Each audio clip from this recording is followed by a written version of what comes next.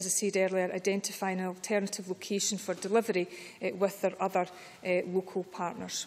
Thank you. That ends topical questions. The next item of business is a debate on motion number 14448 in the name of Derek Mackay on empowering Scotland's island communities. Members who wish to take part in the debate should press the request speak button now. And I call on Derek Mackay to speak to and move the motion. Minister, 14 minutes.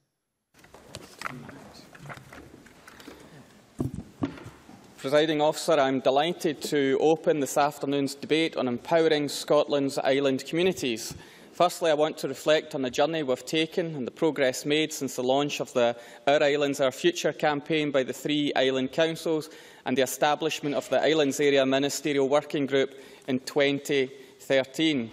The publication of the Empowering Scotland's Island Communities prospectus in June 2014 produced the most comprehensive package for empowering Scotland's island communities ever put forward by any government.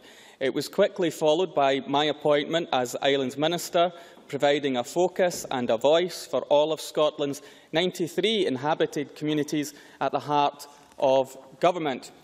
The Government's commitment to our islands was further strengthened when the First Minister announced in her first programme for government her intention to reconvene the Islands Ministerial Working Group to continue the focus of addressing the challenges our island communities face and to consult on potential measures for inclusion in a future Islands Bill. The ministerial group reconvened in February and I now want to touch on some of the progress that's been made. On transport, we're clear about the significant contribution our Lifeline ferry services make to the social, cultural and economic well-being of our islands. We've invested over £1 billion in our ferry services since 2007 and most recently continued investment has allowed us to complete a rollout of road equivalent tariff fares on the Clyde and Hebrides ferry services this month and support CMAL as they finalise the award of contracts to Ferguson Marine Engineering Limited for the building of two 100-metre vessels. We have listened to views expressed around the timetabling and as I announced on the 22nd of September, CalMac are consulting widely with island communities on the detail of proposals for enhanced 2016 summer sailings.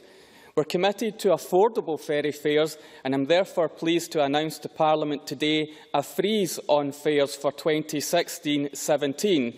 This is across all Scottish Government subsidised ferry services and this includes passengers' cars and commercial vehicles.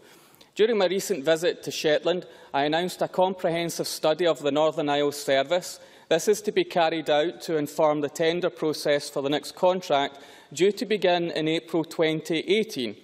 We will continue to engage with key partners as part of that process. We will also work closely with both Orkney Islands Council and Shetlands Islands Council in considering their internal ferry services.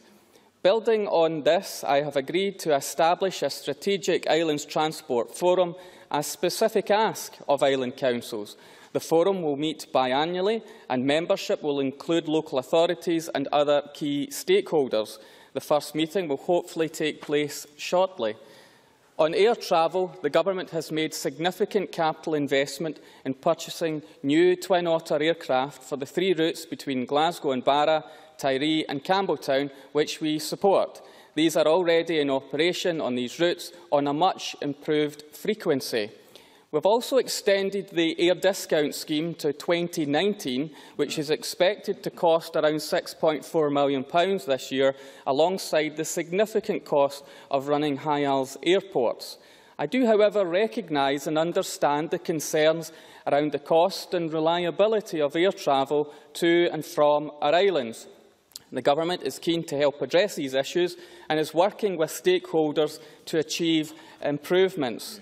I've met Scott Preston, who started the online campaign, and also recently with Loganair. Loganair have outlined a range of initiatives to enhance engineering support through its network to improve reliability, a review of scheduling to improve punctuality, and I would hope passengers start to see the benefits of these initiatives very soon. Fares are set by Loganair, of course. Liam McArthur. very grateful to the Minister for taking an intervention. I, I bear the scars of the latest delay uh, coming down from Cutwell this morning. Has he established a time frame with Loganair for um, these, uh, the range of measures that I know they're undertaking to actually take effect so that we see the improvements in reliability of those lifeline services? Minister. It's a fair question from Mr MacArthur. There is a Loganair board meeting uh, this week which I think will discuss this uh, and other matters. And they do have a plan around engineering support and capacity and parts for the aircraft as well. Obviously, I want to that to happen as soon as possible so we can start to see improvements around uh, reliability and support for the aircraft because of the the nature of them. Safety is never compromised, but I want reliability uh, to improve, and some of that can be around the scheduling and timetabling initiative. Ken Macintosh. thank the Minister for taking another intervention. Uh, would the Minister be aware that some uh, uh, islanders are concerned that uh, some of the planes are occasionally pulled from island services to serve uh, more lucrative routes? Uh, can the Minister investigate this claim and to see whether that practice can be stopped? Minister. I'm happy to raise that with the operators when I meet them again, but both issues are really around reliability and the cost of air fares. And I think even the campaigners recognise that in terms of air fares, there are costs associated with servicing the islands, and this is not about sheer profiteering, as it has been described. There are genuine cost pressures on the operator, but I'm happy to raise that matter amongst the other matters that I've raised with them when representing uh, island communities. But I do want to return to the air fares issues. Although fares are set by Loganair, as they are by any other airline, and reflect the cost of operating the fleet, including staffing, fuel, airport charges and, of course, air passenger duty on the northbound sectors, as with other airlines, advanced bookings are generally cheaper than those booked last minute.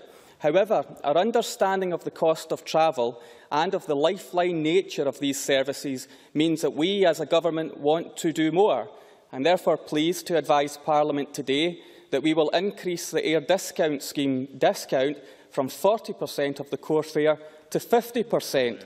That will be the maximum allowed under the terms of the scheme, and this increase will apply to bookings made on or after the 1st of January next year. And I'm sure that this extension will be welcomed across island and more remote communities in Scotland. On energy, delivery of new strategic grid links to Orkney, Shetland and the Western Isles remain a top priority for the Scottish Government. We continue to press the UK Government directly and through the Scottish Island Renewables Delivery Forum on its clear commitment for a viable support package for remote island wind generators. We're doing everything we possibly can to influence the key players, UK Government, Ofgem and Scottish Hydroelectric Transmission by encouraging positive direct action and, importantly, promoting continued cooperation between them. On community renewables, communities across the Scottish Islands are already reaping the benefits of hosting or owning renewable energy projects with support through the Government's Community and Renewable Energy Scheme, CARES. Fuel poverty is another challenging issue affecting our island communities and one which was discussed by the island's ministerial group in July. We believe that all people in Scotland should live in high-quality, sustainable homes which they can afford to heat. Fuel poverty spreads far and wide through both our urban and rural communities, and that's simply not good enough.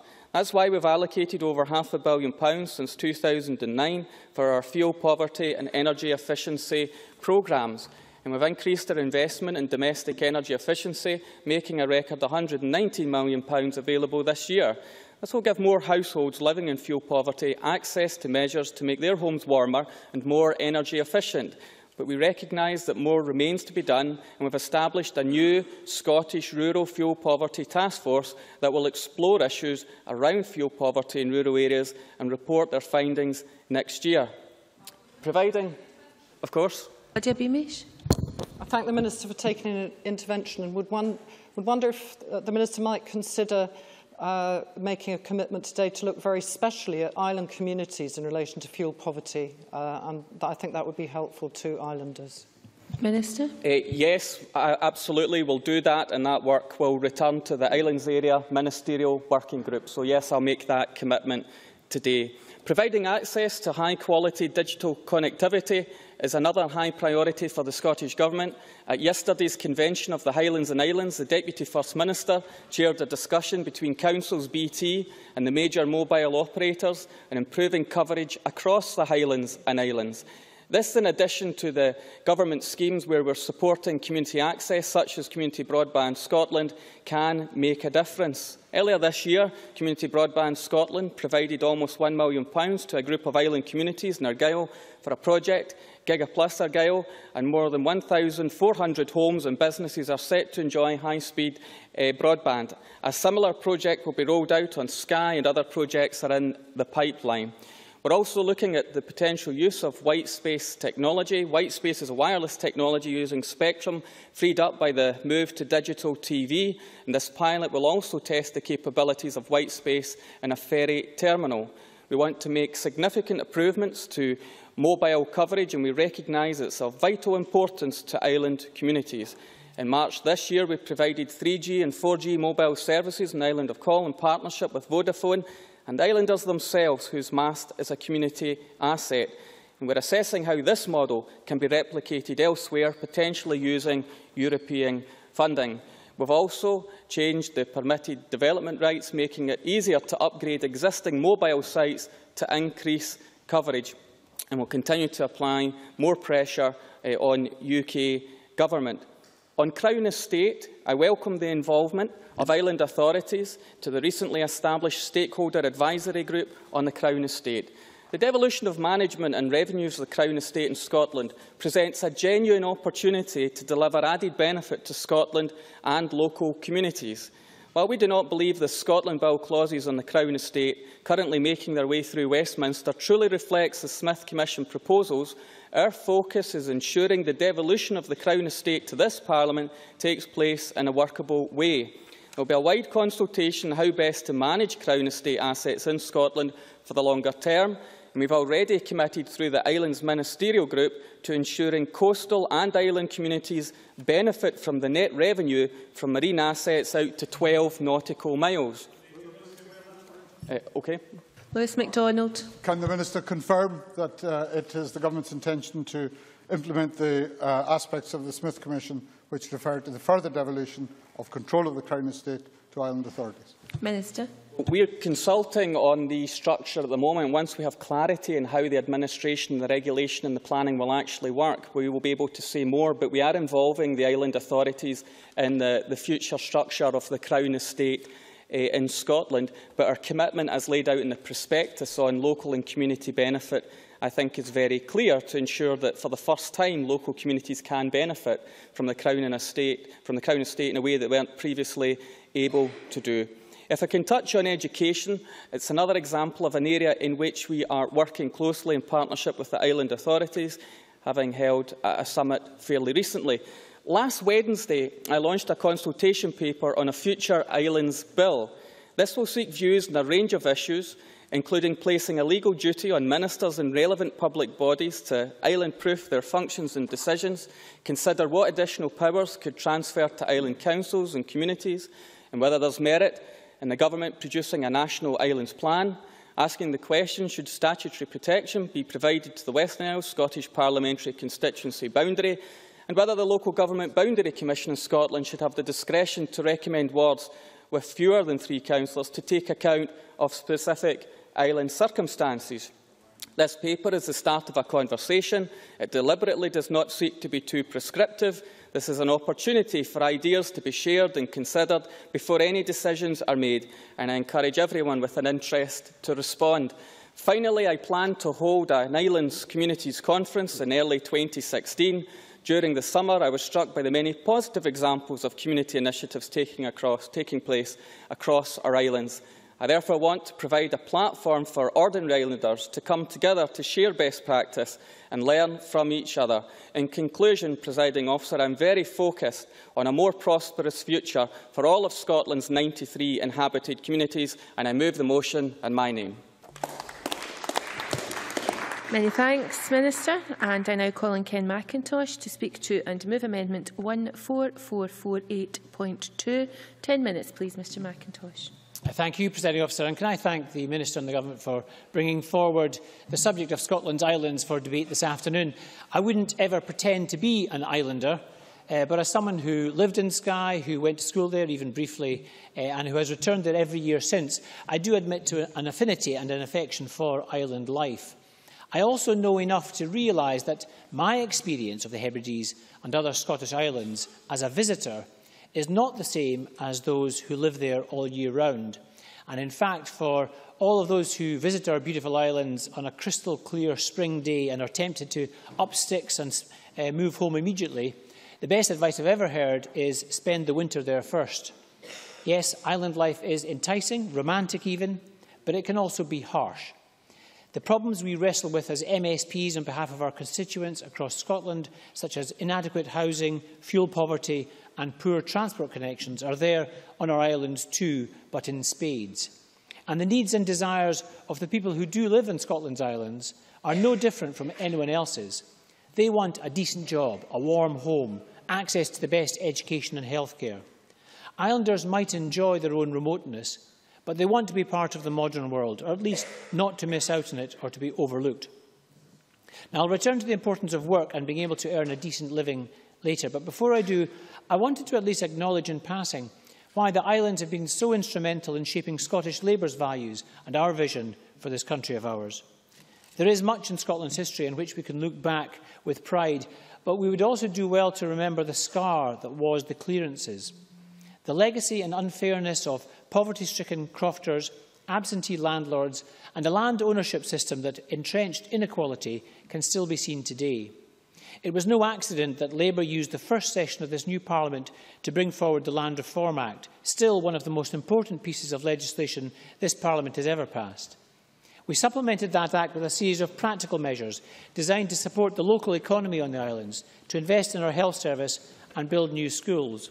And as the Minister uh, and the Government begins to consult on a new islands bill, I think the Minister would do well to also bear in mind the weaknesses of their own legislative record on crofting and land reform and hopefully learn from those experiences. And turning to the forthcoming bill and the current consultation, I would thank my uh, Liberal Democrat colleagues, uh, and Liam MacArthur in particular, for reminding us in his amendment today of the origins of this proposed legislation. I don't mind saying that one of the more welcome offshoots of the build-up to the referendum was the establishment of Our Islands, Our Future campaign by three island councils. The campaign highlighted that for a resident in Lerwick, for example, there is little difference between centralised control from London and centralised control from Edinburgh. Today is a relatively consensual debate, I hope, uh, but again I believe it is at least worth highlighting that there is nothing in the government motion about devolving more fiscal powers to the islands. I think a very interesting test of the Scottish Government's mettle, and this is a question that my colleague Lewis MacDonald and I think Tavish Scott were about to ask, will be when they finally decide what to do with the Crown estate. Will they support Labour's position, and in fact the position they signed up to in the Smith Commission, of devolving control to our islands and our local authorities directly, or whether they will uh, be tempted to hang on to some of the power and, of course, some of the money? Presiding officer, although we will be supporting the government's motion today, there are several other issues not included or mentioned, but which I would argue are of crucial importance to most islanders. The first I want to highlight is that of transport, and in particular the affordability and the reliability of air services to the island, uh, mentioned by the Minister in his opening remarks. As I'm sure the Minister will know, uh, the, there is only one operator, Flybe, serving the islands through their franchise partner Loganair. And over the last 12 to 18 months, I've been informed there has been a huge rise in the numbers of delays and cancellations. And I believe the Minister himself, or certainly one of his colleagues, have experienced this directly. And I certainly know that uh, my colleagues in the Rural Affairs Committee uh, in the recent, did in the recent visit to Islay and Jura, uh, Jura and Islay. They were delayed by three and a half hours on the way out and a further couple of hours on the way back. And it's not difficult to see the impact this might have on local residents, on public services and on businesses. Hospital appointments at Raigmore, in Inverness or in Glasgow are regularly cancelled, uh, onward travel connections missed and other business meetings uh, rearranged or dropped. Mr Gibson. Rob Gibson. Thank you for uh, taking this intervention. Just a slight correction. Two of the members went by ferry and were not delayed at all. That was three different ferries and arrived in Jura for a meeting of a quarter of the population in time. Ken Macintosh. Yes. I, I'm, I'm glad Mr Gibson travelled on the, the, public, the service that's still in public ownership. Um, and uh, it, it actually caused my colleagues some anguish that they took the plane and actually would have been quicker on the ferry with Mr Gibson. So, but thank him for highlighting that point. And, and just the, the um, unreliability uh, of our, our air services, coupled with uncertainty over the future of the ferries, is very damaging for business confidence and investment altogether. Now, as to why the air services are proving increasingly unreliable, some have pointed to the ageing stock, with many planes more than 25 years old, a fact acknowledged by the Minister, in fact. Others have commented on the number of times aircraft are dragged off to serve uh, other more profitable routes, a question I asked the Minister. But these island routes do receive government subsidy, and it is important that they work for the islanders they are supposed to serve. As it is, the cost of flying to the islands is already off the scale. Even booking months in advance, a return flight to Stornoway, for example, would cost more than £250, with very few of these so-called economy or budget seats available. More likely would be £370 return. In other words, enough to fly a whole family to Spain and back. Now, I remember very well when Labour and the Liberals introduced the air discount scheme, uh, preceded, as I call, uh, recall, by the Rural Transport Fund, in fact. It is time for an immediate review of these air services, at the, very least, at the very least looking at the business model used, the size and the investment in the aircraft and the number of seats available. The SNP has already drastically reduced the air discount scheme, but in many cases the costs have simply been shunted to other parts of the public service. As it is, a majority of seats on many journeys are often taken up by the public sector, with flights to hospital paid for by the NHS just being one frequent example. Should those flights not perhaps be capped? This is some, not something that these prices, I should say, not the flights, but the, the prices perhaps be capped. This is not something that can be fobbed off by ministers indefinitely, and, and islanders want to hear words of commitment, not woolly expressions of sympathy. In fact, the issue of air services flags up one of the anxieties some islanders have with the Scottish Government's agenda as a whole. Greater autonomy is to be welcomed, but if there are no resources to accompany greater control, it is very much a double-edged sword. Housing, for example, is another area which exemplifies this concern, where a more locally tailored approach would pay dividends, but where that is no excuse for underfunding from the Scottish Government. No matter where you go on Scotland's islands, the lack of affordable housing emerges time and time again as the biggest single worry. Without it, young people cannot remain in their community or cannot return after leaving for college or university. Key staff needed to support local services have nowhere to live, and young families have nowhere to set up home, with an immediate knock-on effect on local schools and shops. Rural areas generally have half the level of social housing you would see in the rest of Scotland, and more worryingly, half the level of investment. Even within islands, housing need creates population shifts. There are often so few houses available for social rent that people end up moving to the main towns, such as Portree, or of course to the mainland. Housing need is consistently underestimated. Areas of relative affluence can occasionally obscure pockets of need, but more likely, in small villages, people will simply not join a council waiting list when they know there are no council houses in their community. Unlike in the rest of Scotland, where the private sector has doubled in size in recent years to meet that demand, on the islands, rented accommodation is often prioritised for the holiday market. In fact, it is very common for young people to rent one of those holiday homes for the winter, moving into a caravan for spring and summer and then back again. Now, there are many reasons why affordable housing is a particularly acute problem on Scotland's islands. The unavailability of land is one factor, for example. But perhaps the most important as usual, is simply to do with finance. In rural areas, there can be high development costs, but few economies of scale, with only a few houses on each site. And as we all know, the SNP government's decision to cut the level of grant to housing associations has had an effect across the country, but it has proven particularly problematic in island communities. And yet, we also know where community initiatives are successful and housing is built, such as on the Isle of Gigha, it has helped double the population, housing is absolutely essential to rural and island development. Presiding officer, there's nothing in the Minister's motion today that we object to, and I hope we will be able to work constructively on any legislation brought in following the Government's consultation on a future islands bill. What is noticeable, however, is that the Government's motion concentrates on process when what is really needed right now is practical action. Ward boundaries are important, but what I'd like to hear from the Minister and his backbench colleagues is how he intends to tackle poverty, build warm homes or allow more people to go to college, the sort of steps all of us across Scotland want to see, but which have a particular importance in fragile, remote or dispersed communities. And I move the amendment in my name. Thank you very much. And I now call on Liam McArthur to speak to and move Amendment 14448.1. Six minutes, please, Mr McArthur. Thank you, Deputy Presiding Officer. All my adult life and probably for a good number of years before that, I've been driven by a desire to see powers delivered to our island communities. For me, the establishment of this Parliament was always only part of the story, a process, not a one-off event, certainly, but more than that, it was about devolving power within and not just to Scotland, recognising, as all good Liberals in the fine traditions of Joe, Grim and Jo Grimond do, that power rests with the people and is passed up and pooled only by consent and where necessary. It is about giving people and communities the tools they need to shape their own future, trusting them to take decisions on their own behalf rather than a top-down minister knows best approach. So I'm delighted to be able to contribute to this debate and grateful to Derek Mackay for lodging his motion. We may and do have our differences, uh, but I've always found the Minister approachable, courteous and willing to take seriously issues that are raised with him. Despite that, the SNP government's track record on actually empowering our islands is not as the Minister has characterised it, with powers uh, removed from rather than devolved to our island communities. The publication of the government's consultation on empowering island communities is undoubtedly welcome, but it stands in stark contrast, I would argue, with the behaviour of this government since 2007. There is, of course, the untimely demise of the historic Concordat, an agreement once proclaimed by every minister in every speech as guaranteeing parity of esteem between the Scottish Government and local authorities.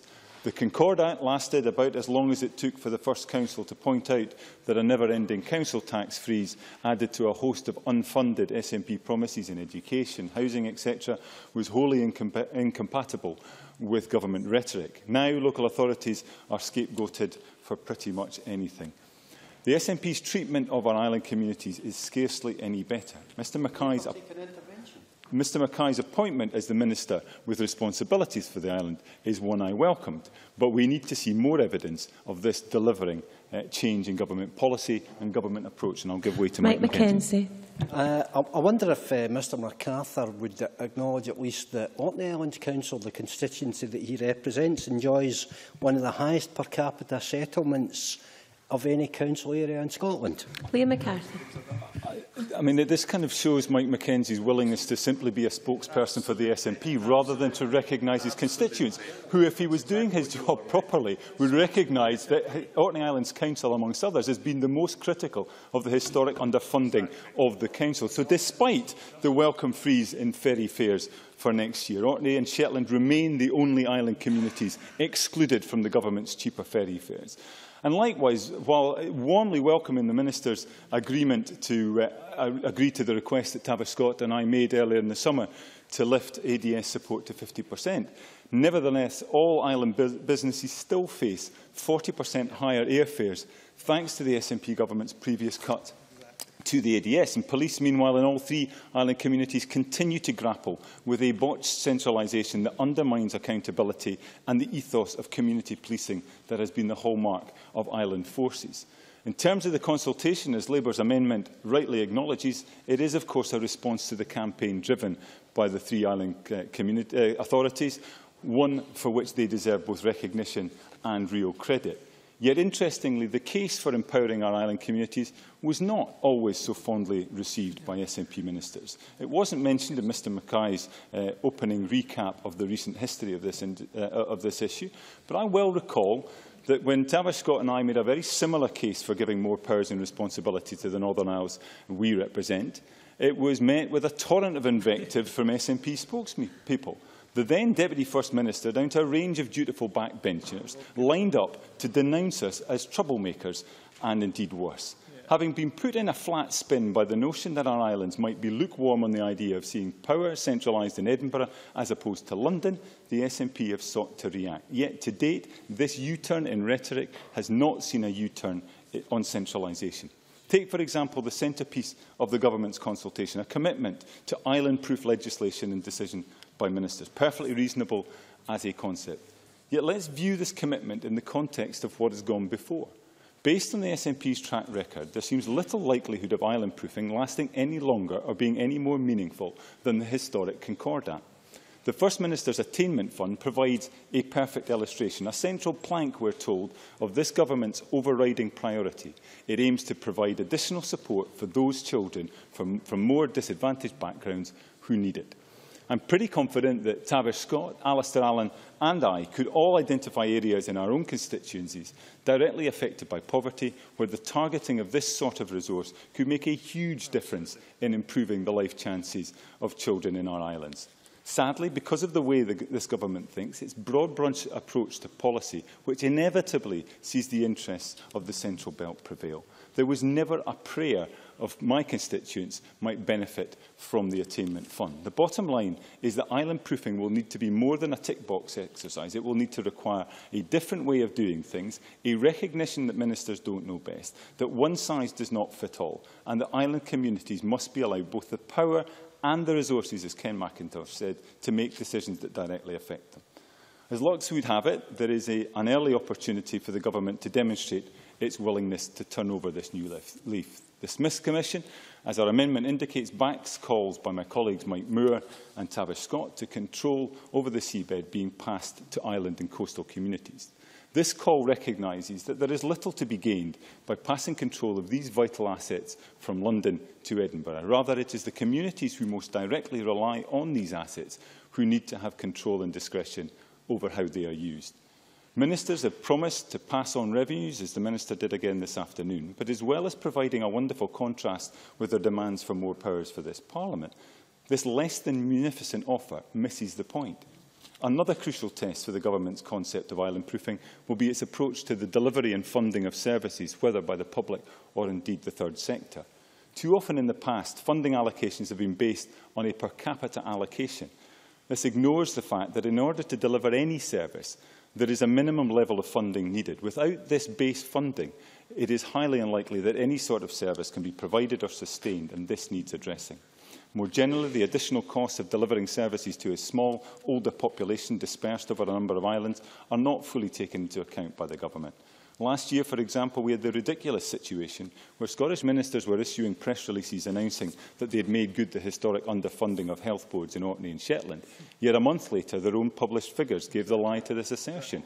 Even now, any increase that has been provided to NHS Orkney will only pay back the borrowing needed to make up the shortfall in previous years. Could you this, come to a conclusion, This please? situation, I will indeed, Deputy President Officer, this situation is not sustainable and puts unbearable strain on those charged with providing health and care in Orkney.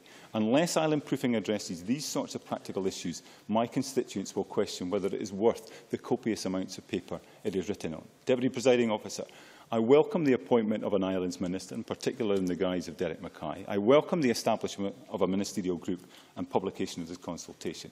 However, it will be judged on what it actually delivers in practice and in terms of a change of mindset from a government which has relentlessly been centralising powers and decision-making particularly over the last four years, and I have pleasure in moving the amendment in my name. Many thanks. And I now call on Mary Scanlon. Six minutes, please. Uh, thank you, Presiding Officer. Can I first of all um, welcome the consultation paper and uh, I think it's only fair to welcome the announcements that we've uh, heard today. The Freeze on Ferry fares 2016-17 uh, I know will be absolutely welcomed. Also the Strategic Island Transport Forum, air discount scheme extended, increased to uh, 50%. Uh, the one thing I would uh, say touches on the point that Ken McIntosh made, and that is that it's still much cheaper to go from Edinburgh, Glasgow and Aberdeen to many, many capitals of Europe. It's significantly cheaper, but a quarter of the price uh, to go by air than to go to our islands. So I would like to see more done uh, so that more tourists can visit uh, our islands. Um, on fuel poverty, uh, I, I welcome the measures and uh, uh, I, I would say that the, the mention about the community broadband, Tavish Scott and I uh, visited Mull on behalf of the Public Audit Committee and it had taken three years for these islands to get together, to work together. It's a long time just to get to that stage. Uh, uh, and uh, before I go on to my main speech, um, I think almost uh, all uh, education and lifelong learning uh, committee meetings now start with apologies for Liam MacArthur. His plane has been delayed and today was no exception to that. Um, so I very much welcome the consultation paper. Um, it is over two years since Our Islands, Our Future was published jointly by the Western Isles, Orkney and Shetland Isles.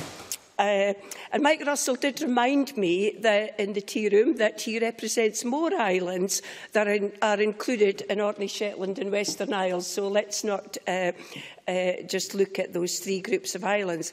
But I want to put on record some of the excellent examples of governance in all our island authorities and in particular Shetland.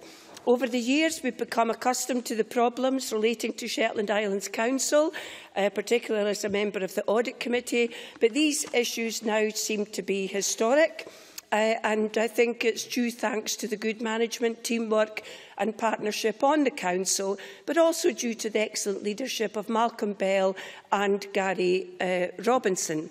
I think we should thank all our island authorities for bringing forward Our Islands, Our Future, which has brought us to this point today. Uh, my second point is that the three island authorities, as well as other islands in Argyll, are all very different. Their problems may be similar in terms of transport infrastructure, broadband and the delivery of public services, but their histories and distinct identity, as well as local economies, are very, very different. And neither should it be assumed that this level of devolution to our islands is all about powers from Edinburgh to Lerwick, Kirkwall and Stornoway. Of course they are the main towns But this is an opportunity to devolve power more locally throughout our islands.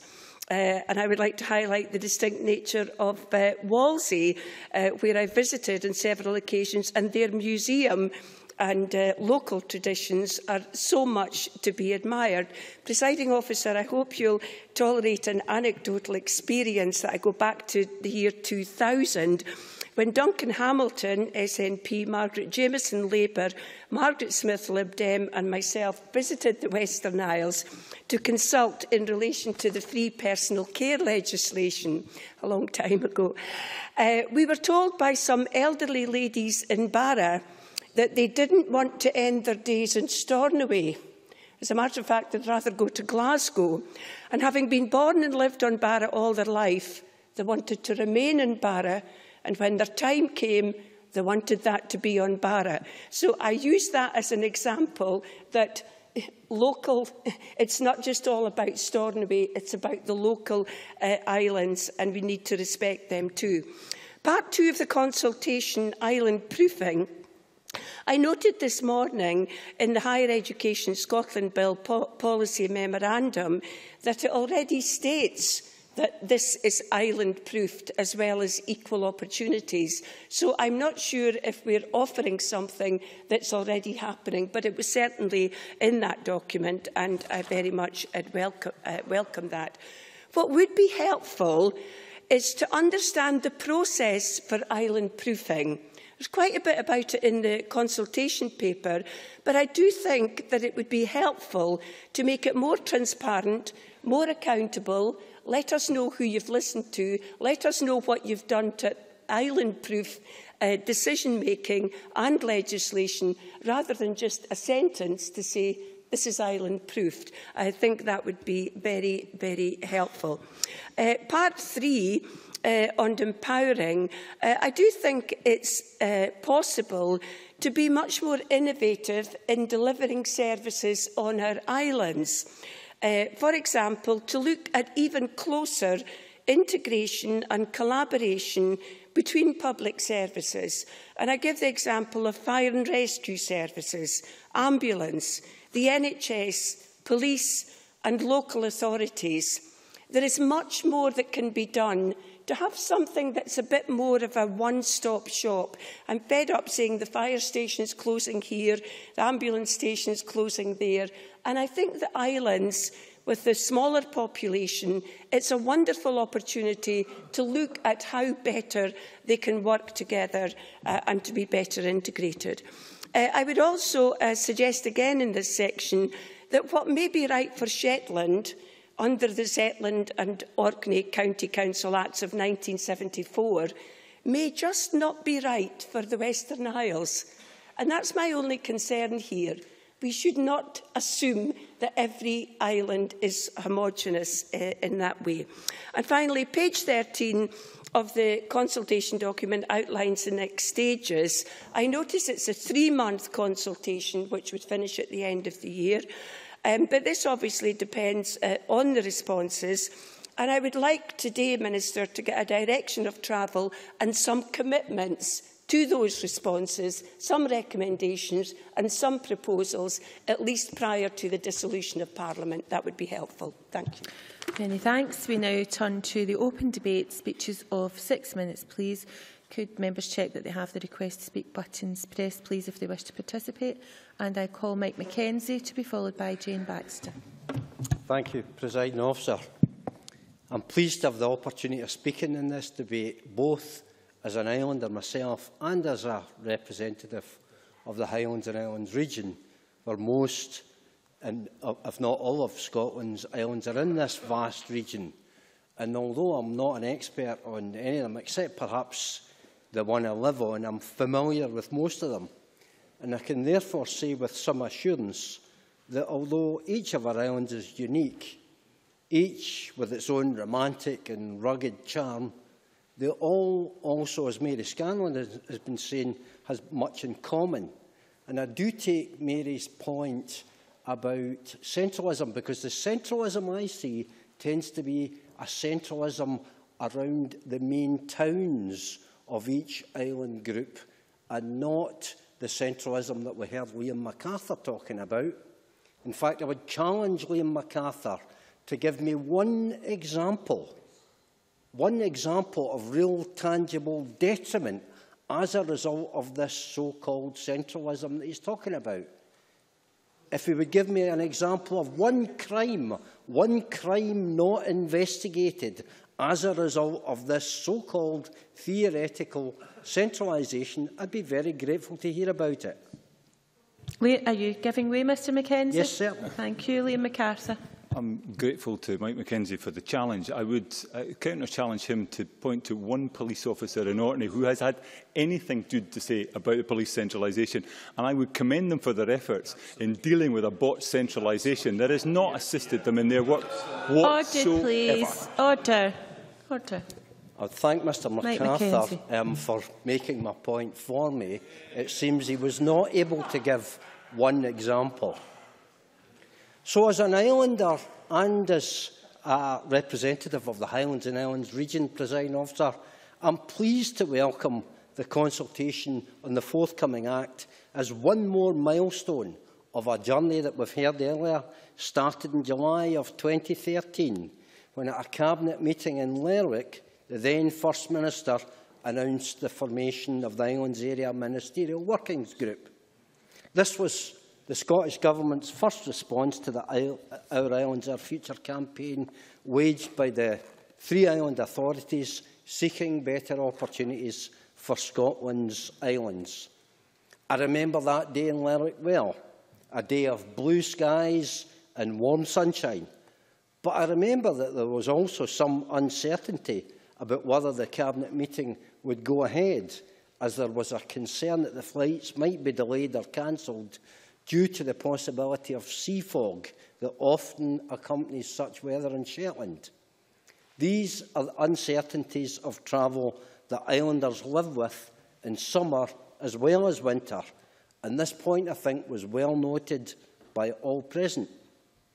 Less than a year later, in June of 2014, I was in Orkney for the launch of the Scottish Government public publication Empowering Scotland's Island Communities, an 80-page document full of substantive proposals with the overall aim of levelling the playing field between Scotland's islands and our mainland areas, recognising the generations of regional disadvantage that our islands have suffered from. It's a thoughtful and comprehensive document, and it was warmly welcomed both by the island authorities and by island and coastal communities throughout the whole of the Highlands and Islands. And it's an important point, President Officer, that many of the proposals apply not just to the island authorities, but to all of Scotland's islands, and to our coastal communities, not least of which, as the Minister has touched on, the devolution of 100% of the Crown Estate revenues. I wish it was possible to devolve more of the Crown Estate revenues than that, but I understand it couldn't be more than 100%. But I can only contrast this with the lukewarm and the limpid response from the UK government, which followed in the August of that year, a document entitled A Framework for the Islands. I'm sure everybody's forgotten about this document. It comprised of no more than a few pages of warm words and nothing much else. It promised greater transparency of Crown Estate revenues, although these are still shrouded in fog, like Sumburgh Airport on a summer's day.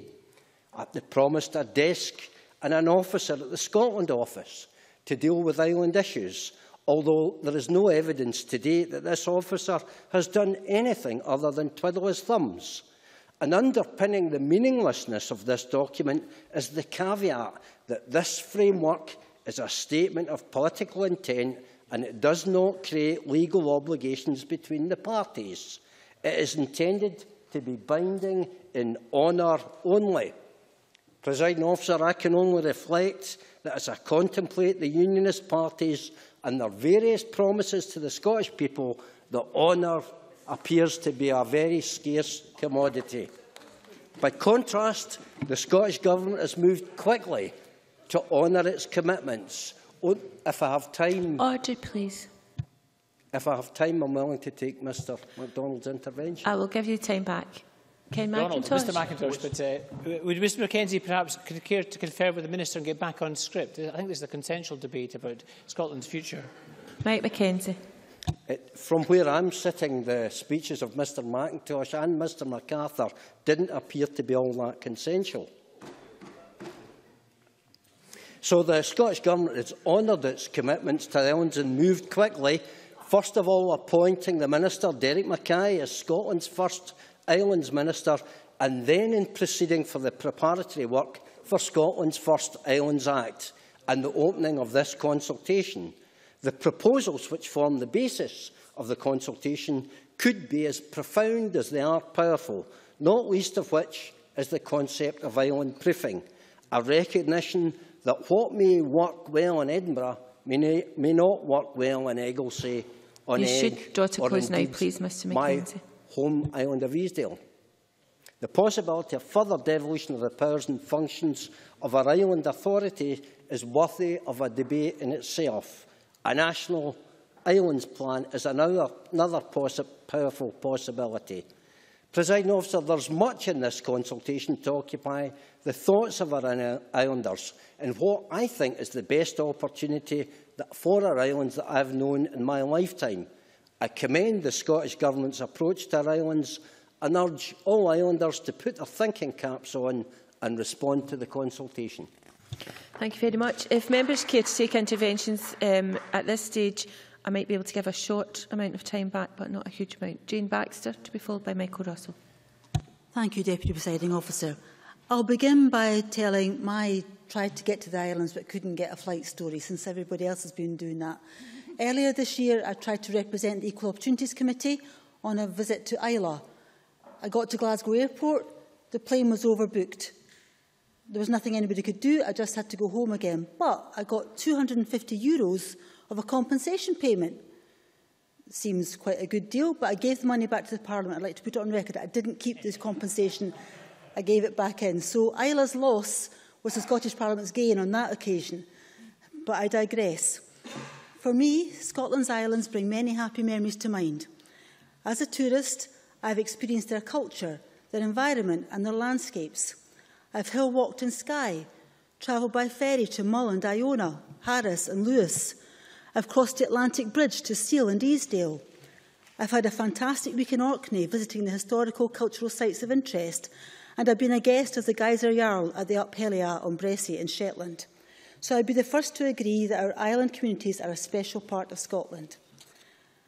And although on the face of it, Scotland's islands may appear to face the same challenges as mainland communities, amongst those fuel, poverty, housing and transport, We need to ensure that they are equipped to deal with those challenges and the solutions and services required may differ from the mainland or indeed amongst different islands. From my previous existence as a community planning officer in Fife, I know how important it is that politicians and their officials listen to local people and to stakeholders when making decisions about policies and how resources are used. The Shetland, Orkney and Western Isles Councils, through their Our Islands, Our Future campaign launched in 2013, have worked hard so that their concerns and ideas are heard. Their campaign has set out a vision for a stronger future for Scotland's island communities and called on both the Scottish and UK governments to commit to ensuring that the needs and status of island areas were clearly recognised in whatever emerged as the future governance arrangements for Scotland. And that's why Scottish Labour supports the work of the Our Islands, Our Future campaign. In recent years, they've made a strong case for empowering our island communities to address the, problem, the problems their communities face, and we will continue to work with them to ensure that the anticipated Islands Bill meets their expectations. And the Scottish Government is now at the stage of consulting with interested stakeholders on plans for more power and protection for Scotland's islands to inform the future bill. And we must ensure we must ensure that the, the islands can get a more prosperous and fairer future for their communities as a result of that bill. But I'd like to focus in my speech on one key aspect of that consultation, island proofing. The principle of island proofing, as set out in the consultation document, is about building a broad-based islands awareness into the decision-making processes of relevant parts of the public sector. In practice, it will involve the consideration of the particular needs and aspirations of island communities when the Scottish Government and other relevant public bodies exercise their functions. The Government is seeking views on whether it should have the power to issue statutory guidance to other public bodies and whether those bodies would be required to, would be required to adhere to that guidance. The consultation further asks which bodies should be included in the scope of that statutory guidance. Presiding officer, the issues outlined in the consultation document do seem to be considered, fair and reasonable. A word of caution, however. In my experience, proofing for any of a range of scenarios, be it equality, rural, future or island can too easily become a tick box exercise. If the assessment is to add real value, you have to take a participative approach to work of this nature, involving all stakeholders, and this will involve additional time and expense, but the results in the long term will be worthwhile. That participatory democracy, and with it the ability to robustly island-proof policy in the future, will be influenced by the outcomes of the Scottish Government's cons consultation, which, as well as asking about island-proofing, also raises, raises questions on empowering island communities. What additional powers and functions could be passed to island councils to benefit or better protect the island communities they serve? And would this be the same for all islands, or could there be geographical variations? A national islands plan, whether a legal duty should be placed on all future Scottish Governments to prepare a National Islands Plan, setting out ongoing commitments across all policy areas of government to support, promote and empower our island communities statutory protection for the Western Isles Scottish Parliamentary constituency boundary as the only constituency in, Scotland made up entirely of islands and not having this protection. And local government electoral wards, whether the Local Government Boundary Commission of Scotland should have discretion to recommend wards with less than three councillors so that populated islands are not placed in an electoral ward that contains a significant proportion of mainland population. And this is because of concerns amongst some island communities that their distinctive interests may not be represented in a larger council's discussions and that the island community may not have a councillor amongst its residents. Scottish Labour in its 2015 manifesto committed to use the powers of the Smith Commission to devolve more power to our island communities, to use new powers of the Scottish Parliament to devolve the administration and revenues of the Crown Estate to manage and develop their own seabed and foreshore. We also committed to ensuring our island communities a place at the heart of the UK Government – That involved a commitment to maintain the island desk in the Scotland office and convene a summit between the UK Government and Scotland's island councils twice a year. Presiding officer, in conclusion, Scottish Labour will play a part in ensuring a strong deal for our island communities. I look forward to the progress of the bill and the opportunity to, bring about a positive impact on the health, well-being and prosper prosperity of Scotland's islands. Thank you. Many thanks. I now call Michael Russell to be followed by Stewart Stevenson.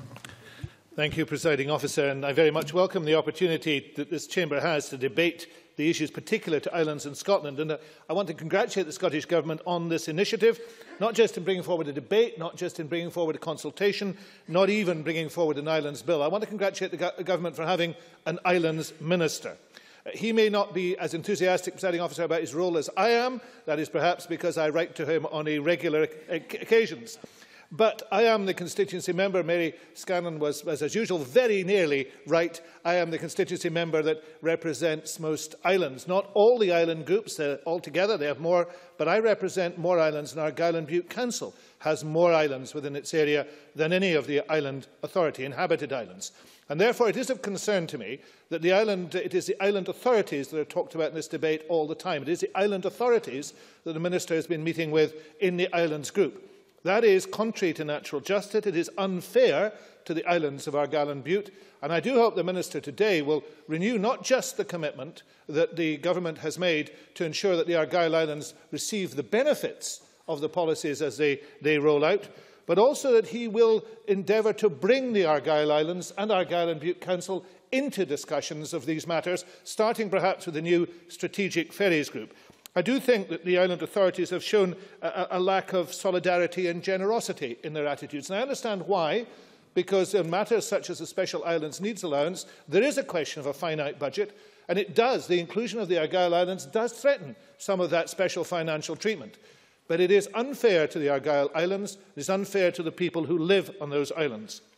Now, there is much in the consultation that must be welcomed, and I've encouraged my constituents to make their own representations. Some, are some issues are particularly germane at this time. For example, changes to local government wards, which are currently being proposed by the Local Government Boundary Commission in its fifth review, will disadvantage the island areas of Argyll and Bute very severely. They will make the Council even less accountable. And there needs to be changes to allow smaller wards and more local transparency. The type of changes that are applied presently in terms of, of, of both in ratio and parity to the islands councils but are not applied within Argyll and Bute. But the particular problem in Argyll and Bute, in addition to the island problem, is growth. Economic growth is not happening. Population is falling. The area is losing population faster than any other part of the country. And I welcome the Economic Development Task Force, presently chaired by Nick Ferguson, which is in place, and I welcome its emerging conclusions, which are about connectivity. And I want to make connectivity the centre of what I say today. Connectivity, digital and physical, is key to the healthy future of island communities. They must have improved mobile phone service. And the Scottish Government innovation and call is a good pointer forward, though companies have to contribute. They cannot ignore their island customers as they tend to do. Improved broadband is essential for island communities. Uh, last year, there were 25 new undersea cables laid as part of the Highlands and Islands Enterprise uh, British Telecom uh, project. And that was the, the largest number of undersea cables ever laid in a single summer. But it is a slow rollout that is leading to frustration. Community Broadband Scotland has certainly stepped in and the Mull project that the Minister mentioned is of great significance. But there needs to be a tangible outcome so that people feel they're getting that service. People want it and they want it quickly. And connectivity in services is vital. Mary Scanlon referred to that. Uh, Royal Mail's recent volte-face on sorting mail on Tiree and Mull was important because it showed that a bit of pressure from the islands could say to large national bodies, you shouldn't do things this way. But we need island proofing not just in government policies, but in every commercial enterprise too, and in all national bodies, recognising the particular problems and issues in Ireland and responding accordingly, and innovating in matters such as transport and delivery. The discussion in this chamber last week about the possibility of ferry hubs for delivery is germane. But transport is also at the heart of this. I have a constituent who is sending me twice a day the link to the departures and arrival boards at the airport in Islay. And she's doing it because every single day and every single flight is delayed. Now, that is unacceptable. It's unacceptable for any carrier to be doing that. And whilst I'm grateful for what the Minister has said, that must stop. And if it is true that Loganair is prioritising other services instead of its island services, then the Minister should stamp down on that hard. Air travel is vital and so is ferry travel. Ferry travel is central to life in islands. And just as I represent more islands, I represent more ferry routes. I uh, we should recognise that RET is a major achievement. People of a certain political vintage, like perhaps Mr Gibson and myself, uh, were arguing for RET in the 1970s. It has been delivered, and it's been delivered by an SNP government, and I'm immensely proud of that. Now we need to move on. Now we need to move on and look at the issue of transport costs and freight costs. There's a, a review underway, and that is very important. Uh, presiding officer, uh, I represent a, a wonderful area. It has, unfortunately, a local authority that's trying to destroy it with the cuts that are bring forward in the last week. What we need to do is to look at the right way to develop services in local areas. That comes from a variety of different levels of decision making. Sometimes the change will come from community ownership, as in Gigha. Sometimes it will come from existing through structures such as local authorities, but also through bodies such as the Tobermory Harbour Association, which wants to have the powers of the Crown Estate. Its biggest barrier is the local authority that wants to cut its funding. And sometimes it comes through this chamber, looking at the islands as the jewel in the Scottish Crown, spread across the west and north of this country, recognising their special needs and going that extra mile to make sure we support the people who live in islands, the services in islands, the links to islands, so those islands grow and flourish. I'm proud of the things that this government is doing. It can always do a wee bit more. Many thanks. I now call Stewart Stevenson to be followed by Margaret McDougall. Uh, Presiding officer, let me uh, draw members' attention to the entry in my members' interests. I'm president of the Scottish Association for Public Transport, a subject which I expect to cover in my contribution. I uh, was thinking about when I first went to an island. It appears to be Easter uh, 1965 when I first went to Skye, and it's been my very great pleasure to have visited islands all across Scotland. And indeed, uh, we've talked a good deal about aviation. I find I've flown so far into 13 airports on islands. Um, four of them my, flying myself, the other ones commercially.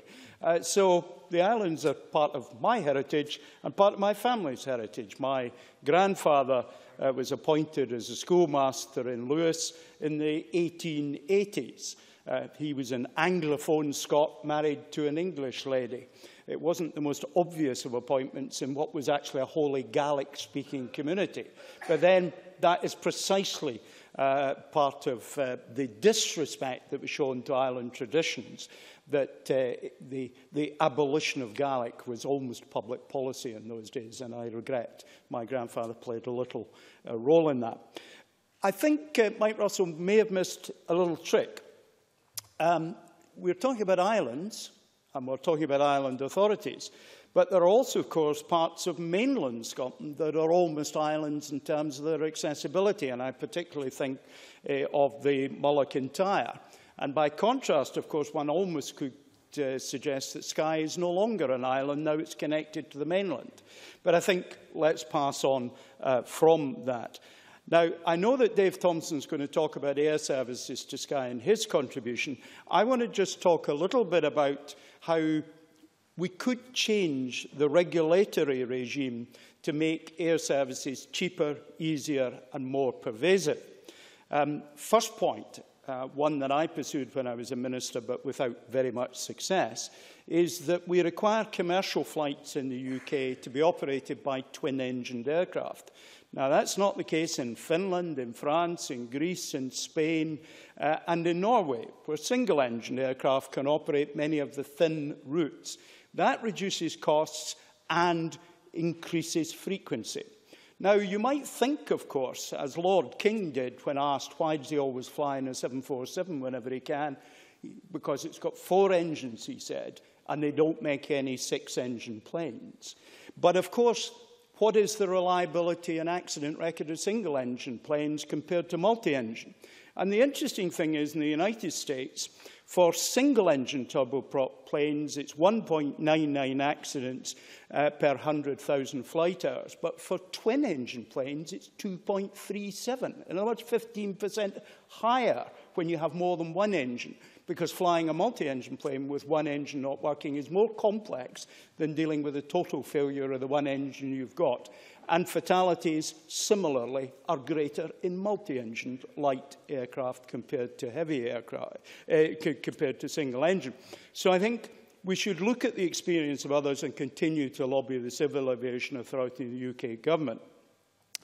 Uh, secondly, uh, we, should, uh, we should also consider uh, whether uh, we have the right approach mechanisms. Now, this is a technical issue, but it actually matters. We're talking about reliability of air services in Scotland.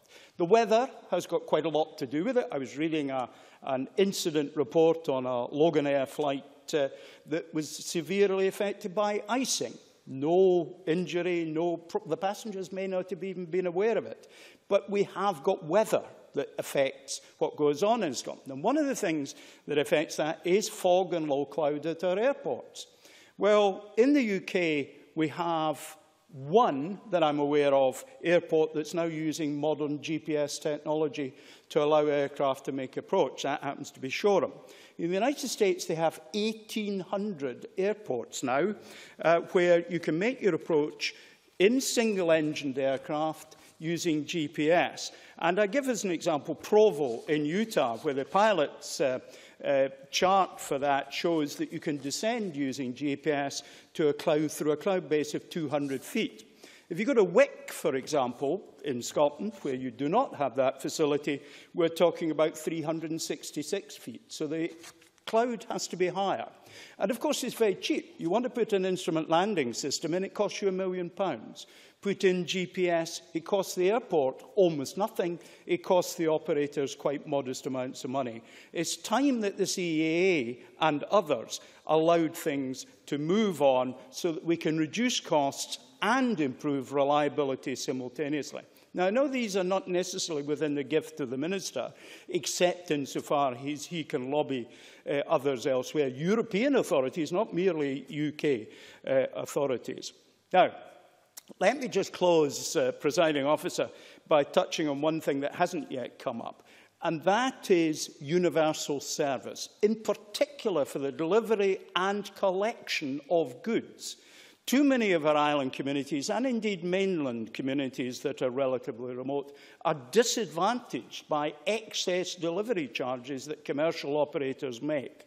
And I think it's high time that that was tackled with, by legislation if necessary, if possible, but certainly by exposing these rip-off merchants for what they are, by seeking to persuade them that equity is required in this matter if we're going to support people in all the islands that uh, we live in, but in particular the islands that we're talking about today that are represented by the three island communities. A range of problems, but a range of opportunities as well. Presiding officer.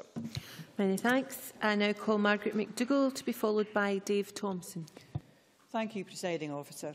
As a West of Scotland MSP, I have island communities within my region. Arran, with a population of 4,629 and the Cumbraes with a population of 1,280 as of 2011. I note that the Government is looking to change electoral ward rules for populated islands. This is currently a hot topic on Arran, more so with the proposed boundary changes, and I will be keeping an eye on how this develops and will encourage those on Arran to respond to the consultation. Presiding officer, in my speech today, I'm going to highlight some of the difficulties faced by our islands, such as housing, transport and fuel poverty, with the added factor of being in remote and difficult to reach locations. The main focus of my speech will be housing, although I'll briefly touch on other areas.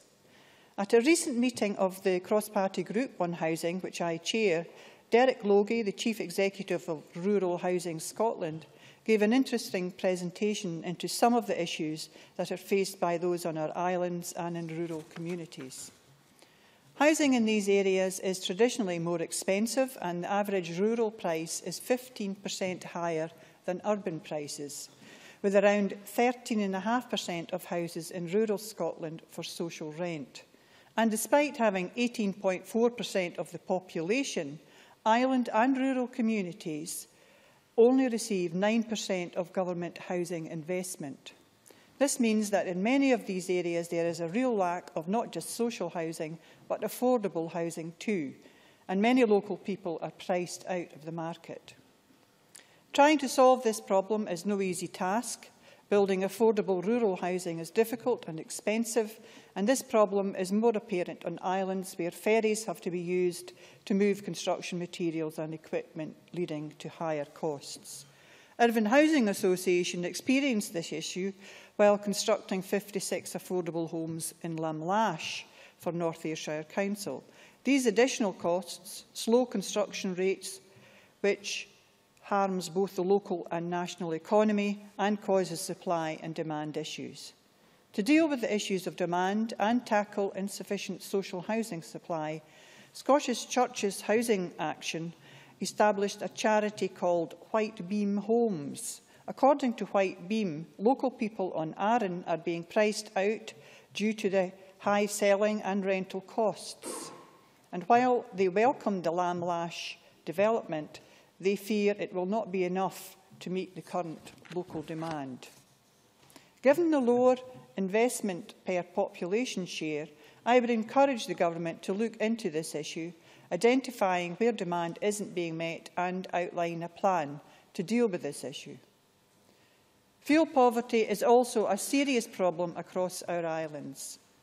Millport on Cumbrae is in line with the rest of North Ayrshire, but is still too high, with around 29% of the population suffering from fuel poverty while 40% of the population on Arran suffer from fuel poverty, according to Scottish Government figures. Arran is further away from the mainland, so fuel costs are higher. In addition, many of the houses are older and not as energy efficient. Regulatory standards for retrofitting privately rented homes could have helped tackle this issue, but unfortunately this wasn't included in the Scottish Government's recent Housing Act. In my view, not enough is being done to eradicate fuel poverty. It is a national scandal and we need to do more, not only to promote retrofitting, but we need to encourage people to switch service providers because islanders tend to have a loyalty to their power supplier, even when it could save them hundreds of pounds a year. Presiding officer, Before I finish, I feel that I have to mention the current CalMac situation. CalMac provides a lifeline ferry service to Arran, Cumbrae and many other islands across Scotland. This service may now be under threat due to the contract being put out to tender, a process which many of the opposite benches argued against last time, if you just let me finish, stating that tendering these lifeline services could lead to them deteriorating. Minister. Take your intervention. Well, well the member uh, appreciates that the timetables, the investment, the fares and the vessels themselves, irrespective of the legally required tendering process, will remain in public control and public ownership, and therefore there is no need to scaremonger about the ferry services to Arran. Margaret McDougall. Well, I welcome the, the Minister's assurances, but, uh, you know, There is a lot of scepticism out there, and the strong uh, protections that we need to have in place for the workforce And, you know, will there be the protection for the workforce? Will there be no compulsory redundancies within these um, new contracts? In addition to this, can the Minister confirm what communication he has had with the European Commission on the tendering issue, given that the SNP MEP Alan Smith has said in the past that there were alternatives to the tendering process. Did you want to come in? Minister. Delighted to take a further um, opportunity to intervene on the member. Over the course of the summer, I met with the trade unions specifically on employment matters, and they are satisfied with the outcome of those uh, discussions, that they do feel that degree of protection that the member is seeking. Uh, and all the uh, questions around engagement with the European Union has shown that we have no choice but to undertake the procurement exercise that we are undertaking. But what we are doing is ensuring safety, ensuring the provision of services and also the continuity of service that everyone would expect. And if we hadn't undertaken this course of action, then yes, Europe may well have had to intervene, and that would have put all the island ferry services at risk. So we have totally complied with all necessary legislation, engaged with Europe, and I'm very positive about the engagement with the trade unions, which has ensured protection for staff also. Margaret McDougall, and you must start to conclude, Thank please. You. Uh, well, we'll wait and see what happens in the tendering issue. To conclude, there are many other issues I could have mentioned, such as access to broadband, which Mike Russell um, has spoken of, which unfortunately some areas in Arden still don't have. But due to time constraints, I don't have time to discuss that today. I feel the areas I have mentioned are not just important to the islands in my area, but across all the islands in Scotland, more so given the recent report showing that we need to double construction of affordable housing from 6,000 to 12,000 to meet demand. Fuel poverty is also a very serious issue across Scotland, but our island, island communities suffer the most. We need to do everything we can to drive down costs and provide energy-efficient, affordable homes to our islands. Thank you. Thank you very much. I now call Dave Thompson to be followed by Angus MacDonald. Uh, thank you very much, Presiding Officer.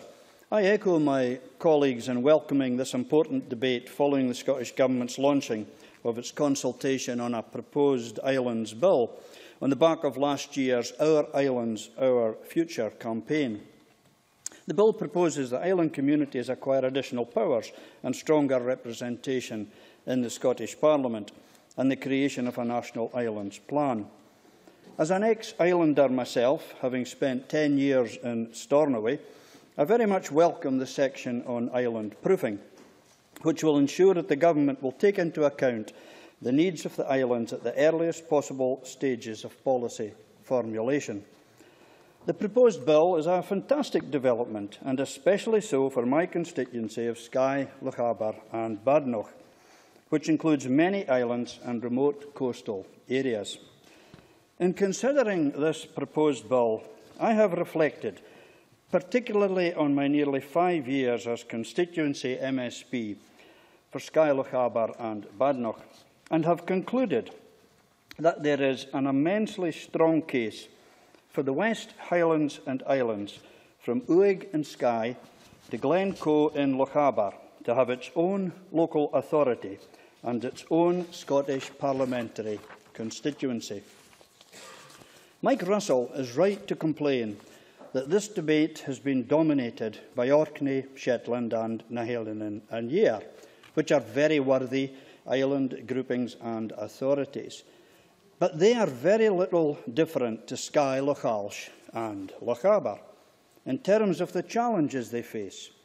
And I give notice to the Minister that I am starting a campaign today to get such recognition for Skye, Lochalsh and Lochaber. In this, I have the support of Ian Blackford, MP, for Ross Skye and Lochaber, and will work closely with him uh, to convince the Minister and bring this to fruition. The electorate of Skye Lochalsh and Lochaber is around 27,000, compared to around 22,000 in Na h-Eileanan an Iar, 18,000 in Shetland and 17,000 in Orkney. Skye Lochalsh and Lochaber has islands and remote mainland communities akin to islands and suffers from all the problems of connectivity that the three main island groups do. The roads are often risible, the telecoms are terrible, and the air services are absolutely non-existent. I hope the Minister will seriously consider my proposal, and I will respond formally to the consultation so he can do so, and I will also write to him to ask for a meeting to pursue the matter. Of course, island communities like these in Skye, Lochalsh and Lochaber need ferries. And since the Scottish Government came to power in 2007, it has invested significantly to support Lifeline ferry services, including the commissioning of new vessels and harbour infrastructure. A record 1,000 million has been invested, and with the road equivalent tariff now fully rolled out, this will mean a reduction in the cost of ferry travel for all passengers, coaches and small commercial vehicles to all of Scotland's islands. And I also very much welcome the ferry fare freeze for 2016-17. All of this on top of the recent excellent news from CalMac that new direct daily return sailings will be put on between Lochboisdale in South Uist and Mallaig in my constituency, as well as an increase in sailings between Mallaig and Armadale and Skye. Although the increase in sailings between Mallaig and Armadale is to be welcomed, I would caution the Minister that total capacity must also be maintained and even increased. These improvements uh, that I've mentioned exemplify clearly uh, that the Scottish Government is committed to essential ferry services for our island communities that rely on them, ensuring that our islands remain attractive and accessible to visitors. Of course, in the context of devolution for the islands, it is not just about essential ferry services, but also air services. As I said earlier, our air services to Skye, Lochalsh and Lochaber are absolutely non-existent. But there is hope on the horizon. The Fly Skye campaign group have been promoting the case for the restoration of passenger air links to the island of Skye for a number of years, and there is no doubt that the reintroduction of air links from Skye to the central belt would benefit the economy of Skye and Lochalsh and would bring it into line with other regions of similar populations to Skye, who already have a range of transport options. Take Wick, for example. It is on the mainland and is around the same distance from Edinburgh as, as Skye, but it also has a well-used passenger airport. So all we're talking about is equity. The capital cost of such a service would be no more than 2.8 million, and it is estimated that such a service would result in an additional annual spend in the local economy of around 300,000 and would create numerous jobs. In conclusion, presiding officer, I would welcome support from the government on this, as I believe a fully functioning air service to Skye is long overdue. The bill is an important opportunity for everyone to help shape a fairer and more prosperous future for our islands and help to shape important island-specific legislation, which will have a significant impact on the lives of islanders for years to come. This is an opportunity close, we should please. not miss, not only to consolidate island groups like Orkney, Shetland and and, and Year, but also to create a new peripheral and island local authority and parliamentary constituency in the West Highlands. You must from close, Uig Skye, just finishing, presiding officer, to Glencoe and Lochaber, which would be a huge step forward for the people of Skye, Lochalsh and Lochaber. Many thanks. Uh, now clock is running down. Uh, up to six minutes, please. Call on Angus MacDonald to be followed by Lewis MacDonald. Thank you, uh, President Officer. Now, the more observant uh, members in the Chamber this afternoon will be aware that there are no islands in my Falkirk East constituency, uh, apart perhaps from a roundabout that Falkirk Council has designed to look like a Hebridean island, uh, which I have to admit doesn't resemble any Hebridean island that I've ever visited. And needless to say, the locals have christened it Tracy Island or Fantasy Island, uh, and if you know the workings of Falkirk Council, you'll understand why. Uh, however, as a born and bred Leosach, or someone hailing from the Isle of Lewis, for those unfortunate enough not to have any Gaelic, uh, I couldn't resist contributing to today's debate.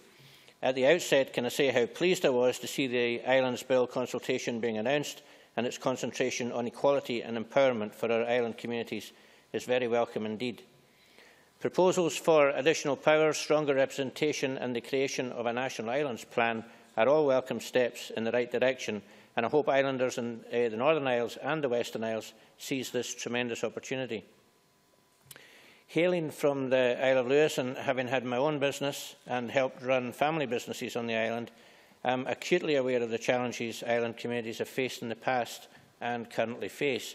And of course, as part of our evidence-taking sessions on the Land Reform Bill, our RACCE Committee has visited uh, islands as diverse as Orkney, Islay, Jura and Skye.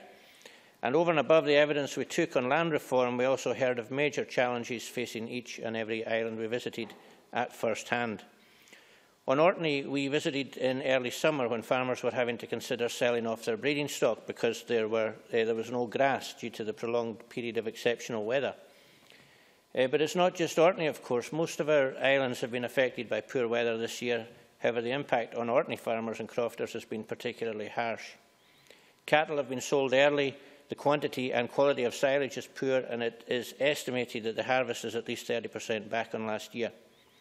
The cost of bringing straw to Orkney or Lewis, indeed, uh, is substantial, with an average load costing between £2,000 and £2,500, of which the haulage costs are more than half. And in a normal year, I believe around 30 loads are brought into Orkney uh, of straw, but this year there have been over 220. There are, of course, many challenges to the agricultural sector on the islands. However, there are many, positives too.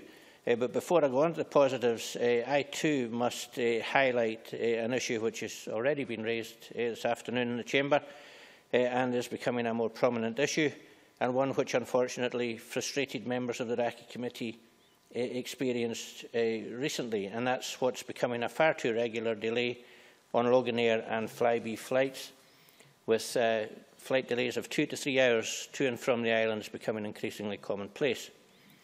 Uh, and I'm reliably informed by that bastion of local democracy, the West Highland Free Press, that the Islands Minister himself was delayed en route to Stornoway last week when heading up to announce the launch of the consultation on the bill. so um, I'm glad to hear uh, the Minister's uh, statement earlier on uh, in his introduction that action is being taken to address reliability and hopefully islanders will see a return to better air services in the near future.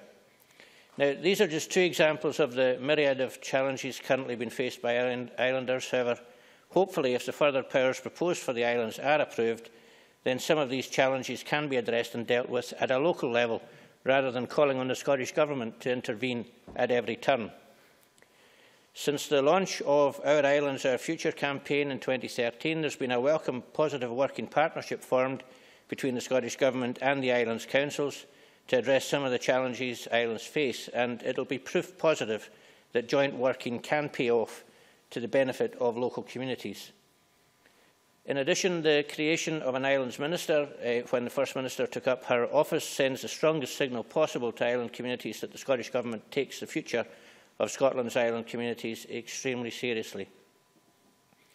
One of the most important aspects of the consultation, presiding officer, is the section on island proofing, uh, the measures the Government could take to ensure the special circumstances of the islands are always taken into account during the early stages of policy development. And the consultation also seeks views on what additional powers should be devolved to the islands' councils to benefit the islands and recognise their special status. Now, there is also a proposal which I welcome to statutorily uh, protect uh, Na h-Eileanan an Iar Scottish Parliament constituency boundary And that, I have to say, uh, President Officer, is a no-brainer, and I hope the feedback to the consultation will agree with that proposal 100%. Uh, I vaguely remember in my younger days the crazy situation where Lewis was in the Rossshire County Council area and Harris was in the Inverness-shire County Council boundary. It was a ludicrous situation, and I believe the best thing that happened to the Western Isles was the creation of a unitary local authority covering the whole of the Outer Hebrides. Uh, I would therefore wholeheartedly agree that the parliamentary boundary should be protected in an Act of Parliament. So, in closing, Presiding Officer, I welcome each and every proposal in the consultation and I look forward to the feedback from it. This is an opportunity for island communities to secure additional powers for themselves and flourish, uh, and I hope they grab it with both hands. Thank you. Many thanks. Now call on Lewis MacDonald to be followed by Rob Gibson. Thank you very much island communities are special. The very existence of living communities of men, women and children in so many Atlantic islands is a tribute to the toughness and tenacity of past generations. Sustaining those communities into the future is the responsibility of the present generation, not just in those islands, but across the whole of this island as well. And today's debate is about how that is to be done, and it is a subject close to my heart. I was born in the Isle of Lewis. My father was born in North Uist. His father was born in Berneray. My mother was evacuated to the Isle of Arran during the war. My wife's mother comes from Shetland, and my wife's father's family came from Orkney. So I have lived in or visited many of Scotland's inhabited islands, and quite a few of those which are inhabited no longer. I know that islanders view the world in a very distinctive way. And like many people from island cultures, I attach uh, great importance to historical context. Understanding the long view is important to getting policy right for the future. Islands today are disadvantaged by geography. The sea marks the limit of island communities. Most journeys today are journeys by land. Historically, it was very different. Communities were linked, not separated by the sea. It was easier to travel along coastlines than across country. So Orkney was at the crossroads of the North Atlantic world. Shetland was strategic, strategically placed. The Lordship of the Isles formed a bridge between the Scottish and Irish Gaeltachts and was a principality in its own right. It is wrong to think of Scotland's islands as intrinsically remote or isolated or less important than Scotland's mainland. If we recognise our islands as of equal importance, we can design policy accordingly. When I was a boy, Lewis and Harris were divided not just by the steep climb up and down the Clisham uh, or by the sea lochs on either side, but also by a line on the map. As Angus MacDonald said, Lewis was in the county of Ross and Cromarty, Harris was in Inverness and both islands felt that they were governed remotely by mainland councils far away. The creation of Colin and Shear was one of the great success stories of local government reorganisation in 1973. For the first time in centuries, political decisions at a local level were taken in the islands themselves, not on the east coast of the Scottish mainland. And that was a truly revolutionary change. Bringing power home to the islands released tremendous energy and creativity, from completing the chain of causeways joining so many islands together to the revival of pride in the Gaelic language and culture. Another revolution was accomplished in the northeastern quarter of Lewis as long ago as the 1920s, when the people of the parish of Stornoway acquired ownership of the land.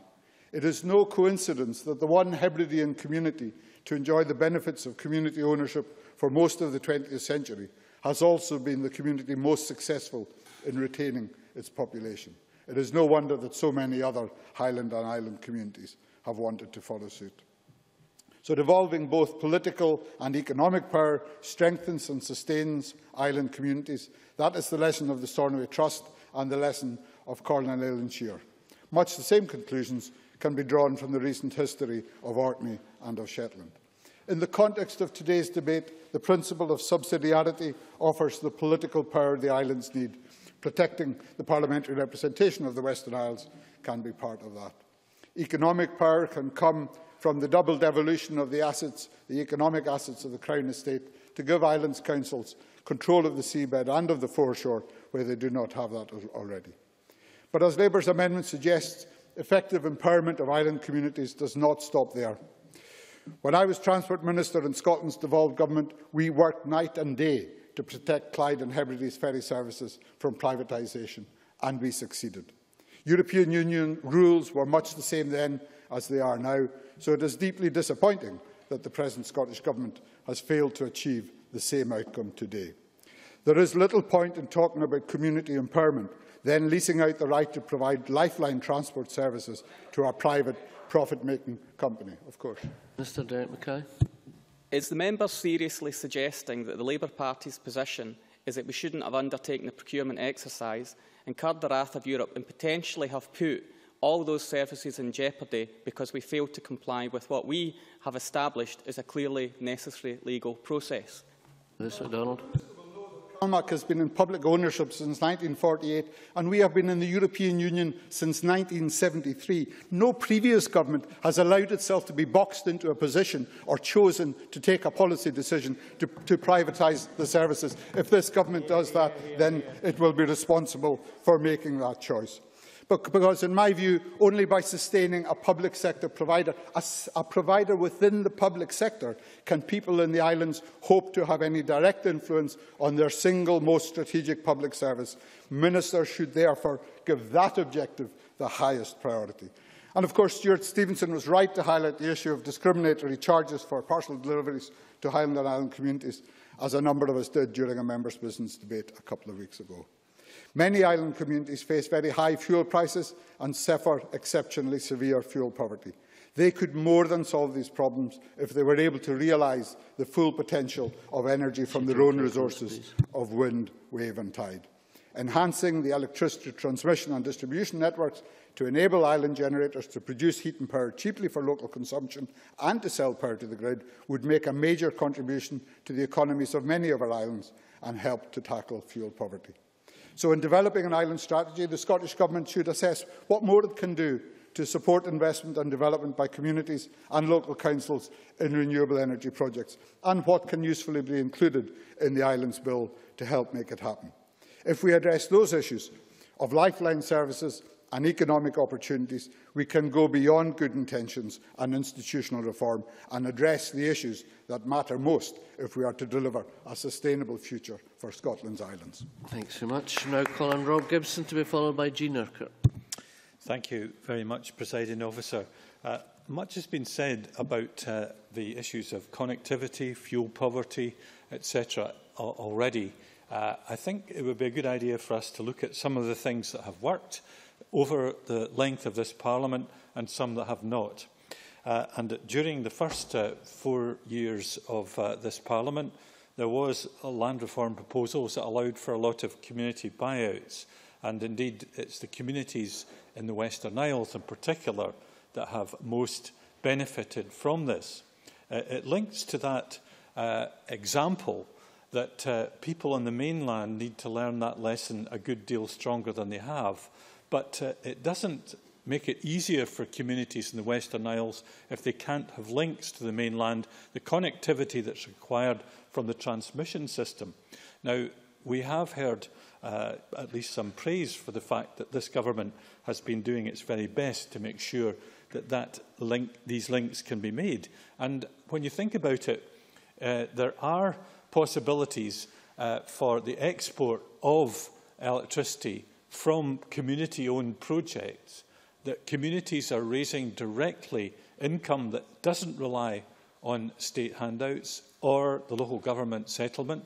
And it is the area in which they can perhaps add most value to the money they have to spend in those areas. We can already see in South Uist the income from uh, the renewables that they have and in Gigha and so on. We can see that when people control the electricity, then there's an opportunity to use it. Now, one of the things I think with ferries that should be talked about in terms of uh, their development is a greater ability to actually store electricity or to use the electricity produced in the islands to power the new ferries in the next generation. Now, we've got small ones at the moment, uh, to etc., that are partly electric. We've got to move to a situation where we can actually have more of the ferries, for example, in Orkney's Northern and Southern Isles, which Liam MacArthur wants to speak about just now.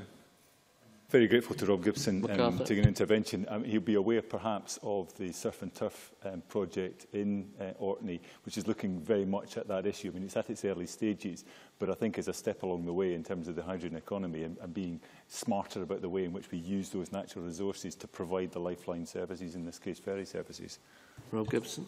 I am, and I'm also aware of the fact that there needs to be charging points, for example, uh, uh, at the pier on the mainland before you reach Rousay, and that was one of the things we noticed in our visit to Orkney. And talking about visit to Orkney, uh, the Development Director, I think he is, Paul Maxton, gave evidence to our committee and suggested that at that time they hadn't any uh, proposals to actually devolve the Crown Estate beyond the Council. But thanks to the discussions in Our Islands, Our Future, they were beginning to change their mind about that. And of course, in the Smith Commission, it suggests that it's not just Orkney, Shetland and Na h-Eileanan Siar, but other areas who seek such responsibilities who should be given those. And I think when it comes to uh, the devolution to this Parliament, it's got to make sure that that can happen, not just to harbour boards, but to smaller islands so that they can control the seas round about them. And in that respect, also, I think it's important to recognise that um, we've had the several order around Shetland, which has been an important 10-year experiment in local management of the inshore waters. Perhaps we haven't talked much about fishing. There's a need for that kind of democratic control, but also some assessment. I've mentioned this before, I think, but I believe it's something which can add to the value of living in these islands and make many more incomes for people there. Now, in terms of the devolution of the Crown Estate, I should also warn that it's necessary to keep the skills together that have been built up in the Crown Estate for renewables development. And in the evidence received in the Rural Affairs Committee, it's come to us that the group of people who do that job need to be able to empower islands, but will be based probably in the mainland somewhere and maybe a part of government in future. And that's why what's discussed in this Parliament about how we actually structure uh, the Crown Estate in future is something that involves both the mainland and the islands. Now, there's a degree of amnesia, you know, uh, amongst Labour and Liberal speakers today. You know, decentralisation of more power to the islands was not being discussed fully in the first eight years of this Parliament. And I'm glad to say that the SNP government has taken these forward. And I certainly think that it's important to recognise that whilst land reform was proposed, there weren't uh, situations where there was going to be a change in the tax structure. We have a tax commission now. It should be possible, hopefully, for us to see next year the means to raise more of our taxes at local level. And if we get the land reform uh, proposals correct, it may be that we may be able to tax some ways of large landowners who at the present time don't pay any tax at all, except for their council tax. And I think if there was more of that being able to be taken in in the land that's not owned by communities, that would be a, an added bonus for local authorities. Now, I represent close, several islands, the Crowlin Islands in the middle of a torpedo range, Isle of Ewe, uh, uh, Gruinard, which used to have a test range for anthrax, the Summer Isles, which people can't live in because the sea's too choppy, San Handa, which is a, um, a bird sanctuary, Garvie Island, which is uh, bombed regularly by the MOD, uh, Eilean nan Ròn and Stroma, which were evacuated.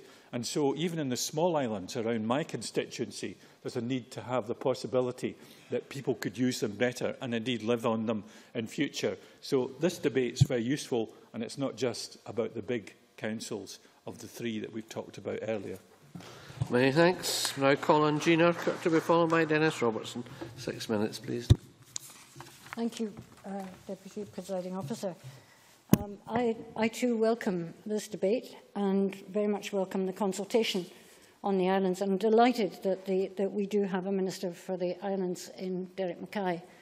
And I know that so far uh, he has done, I think, a, a remarkably good job.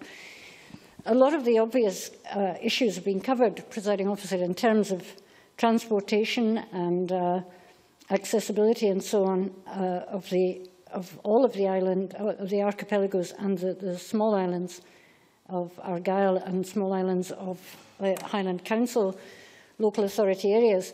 And one of the issues has been uh, the provision of broadband and, and superfast broadband and that kind of access. And I, I would like to put um, a slightly different, have a different take on that, Minister, and that is one where we are very keen to always to talk about how open this Parliament is and how accessible and that we want clarity of government and so on. But it seems to me that there's a real opportunity here to engage with all of these people on the, on the islands by using technology. But this Parliament is the stumbling block in many cases. Through the University of the Highlands and Islands, there is a fantastic network of video conferencing across the islands and across main, mainland Highland. The uh, NHS Highland 2 has very good communication and, and there are a number, now it's, it's quite commonplace for uh, doctors or specialist consultants to consult using uh, video conferencing, but not so for parliamentary business. And although people can, of course, tune into parliamentary stations and so on, we have a number, I think about 100 cross-party groups on specialist issues, many of which are relevant to people living in the islands. And I think there is a case to be made now where we can uh, surely attract their attention. Now, certainly. Stuart Stevenson. Um, just to help the member, she may be aware that now the technology that's in our meeting rooms can be used for Skype teleconferencing precisely for cross-party groups and was introduced for that purpose. Jean Urquhart. I'm absolutely aware of all of the rooms that have any upgrade on, on the uh, IT systems and would have to say to Mr Stevenson that one person being able to Skype in is restrictive in terms of any other visual presentation that may be, may be made and there are only a few rooms that have that, that facility, not all the, the rooms that are used uh, by uh, cross-party groups. The uh, however, I'm pleased that, that I know that a number of people within the Parliament do know about this, but I, I think it would, it would be a, an enormous uh, gesture, too, that we start to engage with more of the people from, from rural highlands and islands uh, in this way. I do believe that the resurgence of political interest has come about because of the referendum. I think that without the referendum, I doubt there would have been an Our Islands, Our Future at all. And in my own experience, uh, in a very privileged position to represent all of the islands with the exception of Arran, um, I do know that that kind of political debate was definitely as a, as a result of the kind of discussions that were going on around a referendum. And I, I think we are fools if we don't recognise that, all of us. The, um, the repoliticisation of, of, of councils, if you like, and I, while I hear the case that's being made for devolved powers in every case, uh, and centralisation being used, I think, or abused uh, as, as some kind of stick to beat the Scottish Government with.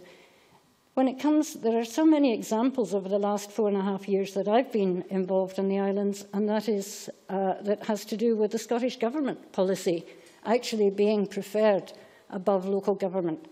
And so with great caution, I say on behalf of all of the people who live on the islands, that when it came to Scottish Government education policy to keep small schools open, there is no doubt where they turned to for help and got it.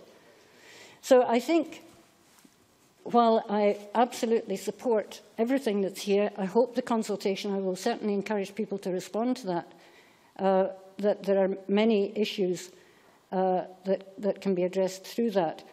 I also say that, that government policy and party policy, given that there's an election next year, will still be to the fore in all of these, in many of these issues, and people should pay attention to that. And finally, Minister, I would just like to say that you mentioned very early on in your opening uh, speech that the islands had a very distinct culture and language and so on. And I would just ask that whoever is in government in Scotland, that we start actually to try and encourage, whether it's through school trips or sports trips, cultural groups, to engage with the whole of Scotland, that just how special the island communities are and that we shouldn't deny any child growing up in this country the, the, the possibility of at least once, possibly twice, close, in their please. school, in their education, that they ha have a chance to visit the islands on many of the wonderful ferries that we have. Thank you. Thanks so much. I now call on Dennis Robertson to be followed by Michael McMahon. Thank you very much, Presiding Officer. Uh, and I welcome the opportunity to take part in this afternoon's debate. And like so many other speakers, no, I'm not an islander, although I've had the privilege of visiting islands on many occasions, and in fact for many different reasons. Um, uh, when I was uh, working for Guide Dogs, I had the, the great privilege of, of uh, uh, working in Shetland, Orkney, and indeed uh, in Mull. And uh, one or two other islands where uh, at that time I was assessing people for um, guide dogs. And can I say uh, that we still have good, uh, I, I think we still have guide dogs in, in most of these islands that I've just mentioned. But my other visitations to islands were generally for pleasure and leisure when I was sailing. And can I say, uh, when uh, Mr Macintosh was talking about the sort of fair weather aspect of going to the islands, can I say, as a sailor visiting many of these islands uh, in a Force 9, it was great to get some shelter, uh, and that was during the summer. Um, but, presiding officer, One of the things the Minister said at the very outset was what this consultation is about. It's about empowering the people within the islands. It's giving them a voice. It's giving them a voice so that they, presiding officer, they decide. They make the decisions. They shape the future of what is coming forward. It's not coming from government. It's not coming from Mr Mackay. And I'm sure Mr Mackay himself eh, would welcome the opportunity for people to have their say. And perhaps one of the challenges for our Minister presiding officer is perhaps to maybe visit the 93 inhabited islands within uh, uh, his portfolio. I'm not quite sure how many the Minister has managed to get to so far, but 93 is certainly a high target. Maybe it's uh, similar to those who actually uh, climb on Munro's and you can become an island bagger as opposed to a Monroe bagger. But, presiding officer, when I was listening to some of the challenges that they have in the islands, and I take on board exactly what Michael uh, Russell was saying, and I was slightly surprised that Michael Russell, in his contribution presiding officer, didn't actually mention rural schools and what this government has done for rural schools in trying to ensure that rural schools do not close under the auspices of this government. And I think there was a certain Michael Russell had something to do with that particular uh, aspect of legislation uh, uh, in this uh, Parliament, presiding officer. So I was surprised that uh, he didn't actually put a, a, a light on himself during his contribution.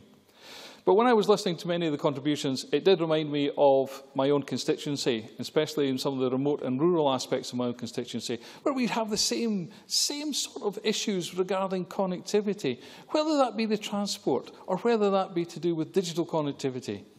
And one of the things I welcome the Minister in his contribution was when he was talking about the improvement within the mobile phone connectivity or indeed the broadband connectivity for the islands and to ensure that people can be connected. I'm sincerely hoping that that same commitment can come to some of our remote and rural uh, parts of Scotland, which don't enjoy maybe the connectivity that maybe some of the islands are enjoying now, presiding officer. But one of the things this connectivity does do, it does give our islanders hopefully more connection with our NHS. Because that digital connectivity does prevent people maybe having to take the flights or take the ferries perhaps into Aberdeen because the consultations can be done digitally. And quite often, even just moving around the different islands to go to the hospital for a consultation, the, the connectivity, providing it's there and providing it, it, it can, it, the, the, the patient and the consultant or the doctor can have that conversation. And this is something I think is the crux of where we're at, presiding officer. It is the conversation. And whether that be health, whether that be social care, it is the conversation. And I believe that is what the, the, islands are being given, the, the islanders are being given the chance during this consultation. But I can just say to the Minister, when we're asking people to enter into a consultation process, we must ensure that they have the ability to do so. So although I've mentioned the broadband and the mobile connectivity, we must ensure that people are aware that that communication is out there and people who are not connected or who don't use that particular type of connectivity also have the opportunity to have their voice heard. It's incredibly important, presiding officer, that we do listen. And I believe this is a government that does listen. And despite the fact that I heard Mr McArthur saying all the things that wasn't said by the Minister, he did say, at least, he is glad it is Derek Mackay that is taking it forward. Because he seems to entrust Derek Mackay with the fact that I hope he is a listening minister, and I believe he is a listening minister. And I'm, surely, and I'm sure he heard the plea of David Thompson, my colleague, for the airport on Skye. Thank you, Presiding Officer. Thanks very much. I now call on Michael McMahon, after which we'll move to closing speeches. Thank you, Deputy Presiding Officer. As many uh, speakers this afternoon have mentioned, our island communities are well recognised as a special part of Scotland. They make a huge contribution to the economy of our country because their natural beauty causes them to be of major benefit to our domestic tourist industry.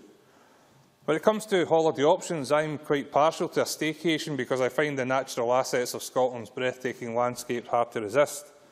Indeed, 30 years ago, my honeymoon was spent touring the Highlands and Islands. But going there as a tourist rather than a politician may have blinded my visits to the Scottish Islands somewhat, And it was only recently when I went to Arran as a member of the Finance Committee that the scales fell from my eyes in terms of appreciating the practical problems facing island communities and businesses. Now I'm as guilty as anyone who, when we choose holiday destinations to get away from the everyday routines and tell ourselves that we're looking to find peace and quiet, we always seem to check right away whether we have a good signal on our phone or whether we have Wi-Fi access when we arrive at our destination. Now, I can and do switch off when I'm on holiday, but I have to confess that knowing that I can be contacted if necessary or that I can keep an eye on what's happening in the wider world, I still find very reassuring. And that's how I felt this year on my summer vacation in Tenerife. There I was, stuck out in the Atlantic Ocean in a quiet holiday resort with a slow-paced local culture. The hurly-burly of urban Lanarkshire left thousands of miles behind. And how good it was to know, though, that I had Wi-Fi access and a strong telephone signal available at all times that I was there. But one day on holiday, it occurred to me that that was a stark contrast to that visit I had been on with the committee colleagues some months earlier on Arran. There we were, barely a few miles off the mainland, the west coast always in sight and yet totally cut off from the internet and seldom in a position to make a phone call due to the lack of a strong signal. The many challenges this causes to people on the island was repeatedly driven home to us as we took evidence from the community representatives, business leaders, educationalists and others. It really is hard to comprehend having to be told that broadband connection on the island is almost primitive in comparison to that which people take for granted only a few miles away across the Firth of Clyde. It's barely believable that in the modern high-tech communication era, when we can receive signals and images from NASA missions on Mars and even as they leave our galaxy on their way uh, through the, the rest of the universe, that on Arran, the broadband cables are regularly broken by workers trimming the hedges because the cable companies didn't bury the lines underground as they do elsewhere, but merely laid them on top of the hedgerows that run along the sides of the roads around the island. And to hear business people telling us that their supplies are regularly delayed because they cannot get internet downloads for days on end is hardly credible in this day and age. The people that we heard from, quite understandably, were frustrated, if not downright angry. But what struck me, though, was that in recognising that it falls to government to ensure that such island communities are equipped to deal with issues like connectivity, the strength of feeling conveyed to us was aimed most at recognising that empowering local democracy was felt to be the best way for the community to realise their full potential rather than rely on the government. And that's why I completely support the work of our Islands Our Future campaign. In recent years, they made a strong case for empowering our island communities to address the problems their communities face. And I'll be very interested, therefore, to see whether the much-anticipated Islands Bill will meet the island communities' expectations. We really must commit this Parliament to use the powers that we're going to receive through the, the Smith uh, Commission changes to devolve more power to our island communities. That's what they demanded when I was on Arran. They want to be given the, the power as a local community to make decisions for themselves in a way that reflects the, the uniqueness of those island communities. And as a lifelong Lanarkshire man looking on from the, inside, uh, from the outside, I can see no valid reason why that should not be the case. Thank you. Many thanks. And I now call on Tavish Scott as we move to closing speeches. Mr Scott, up to seven minutes, please. Thank you very much, uh, Deputy Presiding Officer. Uh, Alex Salmond used to attack me in, in leaders' debates in the past for saying that self-determination uh, didn't begin and end in Edinburgh. And the Minister's right. Islands now have options. I think they've had options for a long time, but by gosh, they've certainly got options now. There are some in my part of the world who'd actually quite like to go back to being ruled by Norway, but I think that's maybe a little bit extreme, although at times I can well understand it. Uh, but what uh, did come across to me when Liam McArthur and I were both in Jersey this summer um, supporting our uh, Team Orkney and Team Shetlands in the NatWest Island Games in a discussion with the Chief Minister of uh, Jersey was just the options that are available to islands who think about their future. And in that, I'm very grateful to the Minister for uh, starting this uh, process. I'm not quite sure where this finishes, um, but that in itself is a good thing. Now, we sent our biggest ever team to Jersey. We won more medals than we've ever won before in what was just a fantastic week of sporting uh, excellence. But what really got came across to me in that, meeting uh, ministerial uh, and parliamentary friends from across islands, from across the world, uh, was the camaraderie of all of us who shared the same uh, broad spread uh, issues and our desire to find the best solutions to those problems. Uh, I thought about that the other night when I was in the Vaux Hall in the north of Shetland listening to Ross and Ryan Couper play fiddle and uh, guitar in, in only the way that they can. It seems to me that sport and music in particular are two of the enshrining attributes of much of Ireland life. And in that, I hope the Minister might add his uh, political pressure to those of his colleagues uh, as we argue for some financial assistance for our sporting teams who can then take part in competitions on the Scottish mainland and get to the same level as those who have now represented, such as Andrew Strachan, who have now represented Scotland, Team Scotland, in the Commonwealth Games and the so successful Glasgow Games of the other year.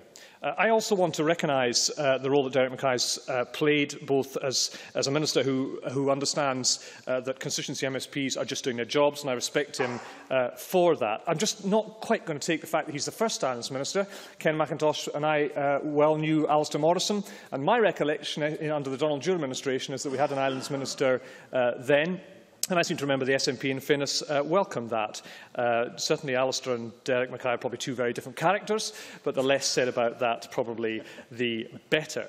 Uh, but this is now a debate, I suspect, not just about that big picture of what could happen in the future, presiding officer, but also about island proofing. Because I think as a number of colleagues, Liam McArthur and others have argued, for those of us who do, do live in the islands, who do argue for uh, sensible and constructive change that helps uh, the people that we are in this parliament to serve, then we will certainly attach that test to the government's proposals and government's actions. And it's the actions that matter most, particularly, if I may say so, in the run-up to an election, when everything is seen through the prism of electoral uh, politics. So I strongly welcome the Minister's announcement today, both on the ferry fare freeze and on the air discount scheme increase, although I'd rather he'd also increased the eligibility of ADS back to what it was before, when Stewart Stevenson very sensibly continued the policy of the previous administration. That was a good policy Stewart Stevenson continued with, and I'd encourage Mr Mackay to, uh, to go back to the policy that his own colleague had at that time. And on ferries, uh, while um, the freeze is welcome,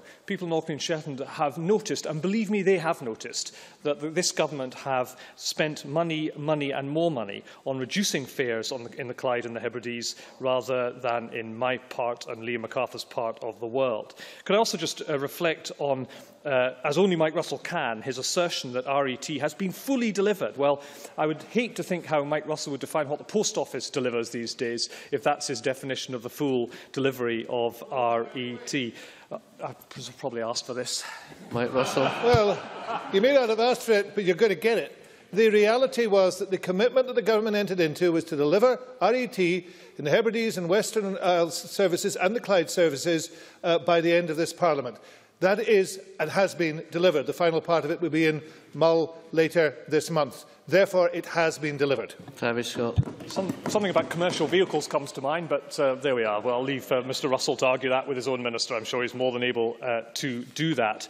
Um, the uh, essence of the other issues that I think confront islands at this time are around, uh, and, and in the context of island proofing, are, as Liam McArthur has rightly argued, around such issues as the attainment fund. Um, I spoke to teachers this weekend. Uh, no constituency member could not but listen to the arguments that they are making in respect of how helpful that fund would be. I think the attainment fund's are a really good thing for a government to do, but it should apply that right across the country and to all local authorities, including to those in the islands. Uh, and similarly on health funding, it's the government's own formula that is underfunding by their own formula, uh, for example, NHS Shetland to the tune of 900,000 pounds a year. So if you're going to island proof, you've got island proof right across uh, the board. Now, many colleagues have mentioned this afternoon broadband, and on that, um, we, I suspect we share a common desire um, over the policy objective. But I and others have argued for some time that the policy, if I may say so, is the wrong way around. We should start, should we not, with the hardest to reach areas,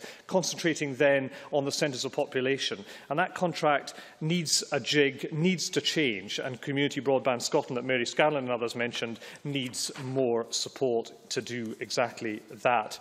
Two other areas where the Minister could make a difference in his, uh, in his role, and that is, uh, in terms of the islands, is on, as Rob Gibson mentioned, the uh, seafood industry, which hasn't had a lot of attention this afternoon. It's worth £351 million to the Shetland economy, yet that discard ban for our whitefish industry is without doubt challenging, as is the introduction of the new cap uh, for agriculture right across the constituencies and areas that we all uh, represent, I am very concerned that the way in which his government are implementing their reclassification of land is causing some very significant concerns for crofters and farmers in those areas. Can I finish, presiding officer, with one point about the Crown Estate? It's pretty simple here, really. What we said in paragraph 33, and Rob Gibson had this right, what we had said in paragraph 33 of the Smith Commission report is responsibility for the management of the, those assets will be further devolved to local authority areas.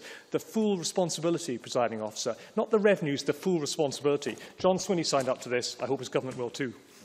Many thanks. I now call on Alex Johnson. Up to seven minutes, please, Mr.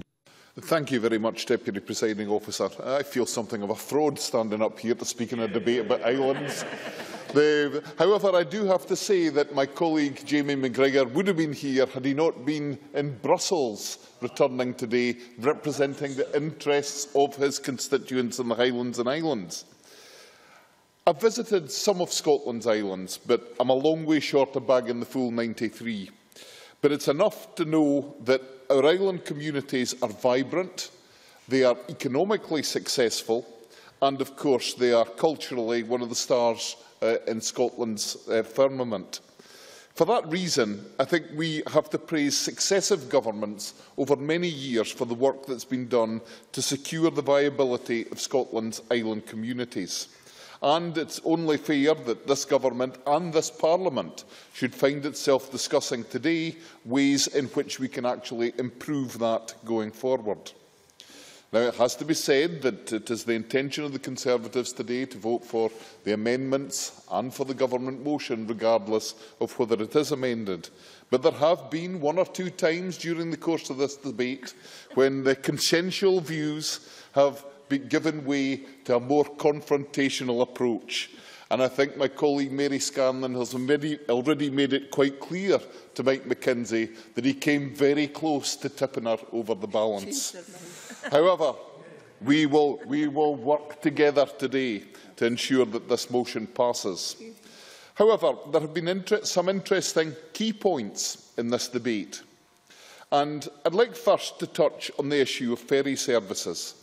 I am delighted that the Government have taken steps to introduce uh, road equivalent tariff, although uh, the fact that that's not available to commercial vehicles does cause some concern uh, and some impact on prices in some of our islands. I'm delighted to hear that there will be a price freeze carried over to next year because that will give the predictability and the continuity to those who use our ferries uh, who may have been concerned about the impact of potential price rises.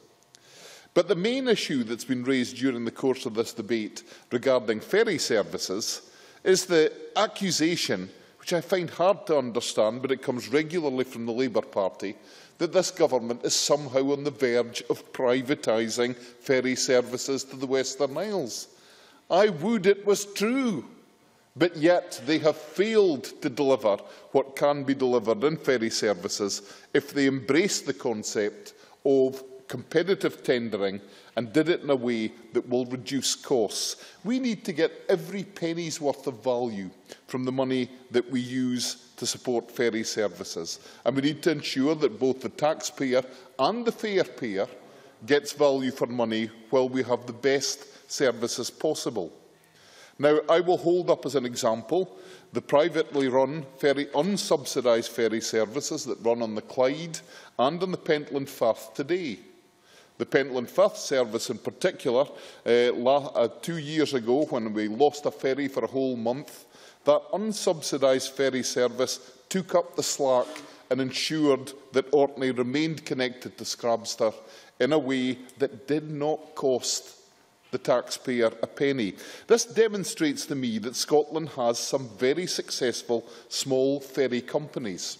And if we wish to have a successful ferry industry in Scotland, what we ought to be doing is tendering services in such a way as these small ferry companies can become involved in that process. And that's where, uh, excuse me, uh, not the moment, but that's where I will criticise this minister and do it unashamedly for failing to live up to the expectations of those who wish to see a truly competitive tendering process on a scale where there was adequate unbundling to allow our small ferry companies to participate in that process. I think it's a missed opportunity, and I'm delighted to criticise this Minister for missing that opportunity and confused by the Labour Party's attitude towards this.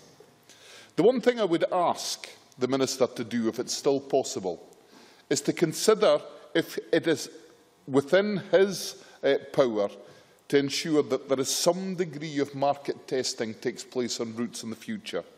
Because if we can allow small companies to demonstrate the efficiency they can generate on individual routes on a subcontracted basis, we can genuinely go forward knowing what it costs to run ferry services and knowing what the subsidy levels will need to be in future. I also need to uh, say a few things about airfares. The fact that airfares have been rising, um, largely due to the fuel costs in many cases, has been a particular disadvantage to many in our island communities. And I, like many in this chamber, will have been lobbied by those who wish to see uh, airfares restricted and the air discount scheme extended. I'm delighted that the announcement that the Minister made earlier, but it still uh, leaves people at a disadvantage when they live on the islands. Other things were mentioned during the course of the debate, including grid connections, which I don't quite have time to go into, uh, but housing uh, in particular is something which I think all governments recognise as a higher cost on the islands than it is on mainland Scotland. Rural housing is expensive, island housing is more expensive still. And I think when we talk about all the problems associated with the provision of affordable housing, the island situation needs to be right at the top of our list of priorities. The final issue, of course, that's been raised was the Crown Estate, and it's been slightly peripheral to the debate, but one or two speakers have majored upon it. And the, it is the case that the proposal to devolve the Crown Estate, uh, which came from the Smith Commission, did have with it that uh, encouragement to devolve on down to local authorities. I have to say that I understand that and I support it in principle, but I have also been heavily lobbied by people who are concerned that the expertise contained within the Crown Estate in Scotland today will be please. lost if it is simply divided up and passed on.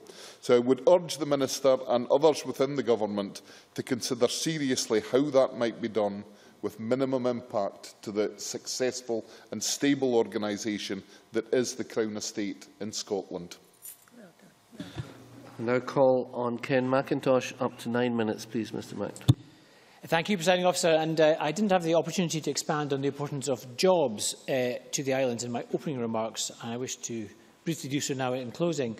Uh, this debate has allowed members from all sides to voice our support for more powers and greater devolution to the islands uh, it's clear that we want islanders to have more say over their own lives. But the proposals brought forward by the Scottish Government, uh, certainly in the motion today, do not touch on the issues that have most bearing on islanders' well-being and prosperity, their jobs, their homes, their educational and training opportunities.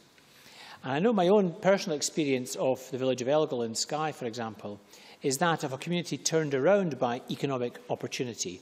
Prawn fishing, and to a lesser extent salmon and scallop farming, have given young people in the village the chance to earn a good living, to buy or more likely to build themselves a house, to bring up and look after their family and in turn boosting the local primary school role. Yes, they want more say over the decisions that affect their lives.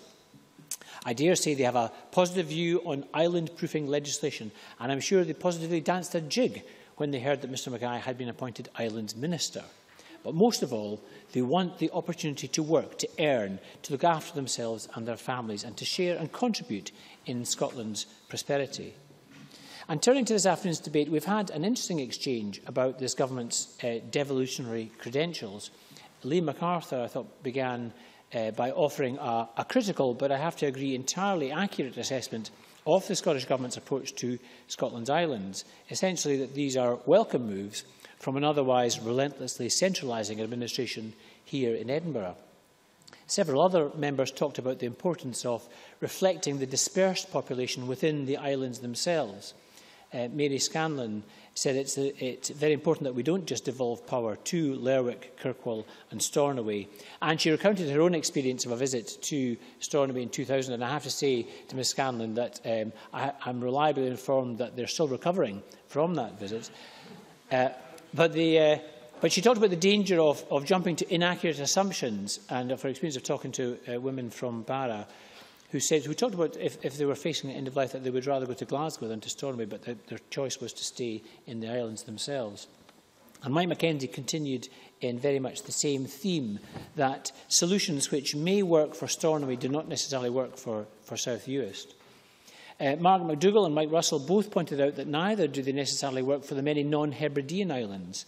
In fact, I found myself uh, in danger of making common cause with Mr Russell, uh, not just on air services, but in much of his contribution.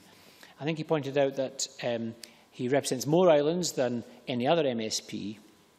And it's worth noting that the uh, islands uh, which have recorded the greatest drop in population have been those islands uh, in Argyll and Butte uh, and North Ayrshire. Not that I'm presenting, I'm trying to make a, a link between Mr Russell's representation uh, and people leaving and people leaving in droves.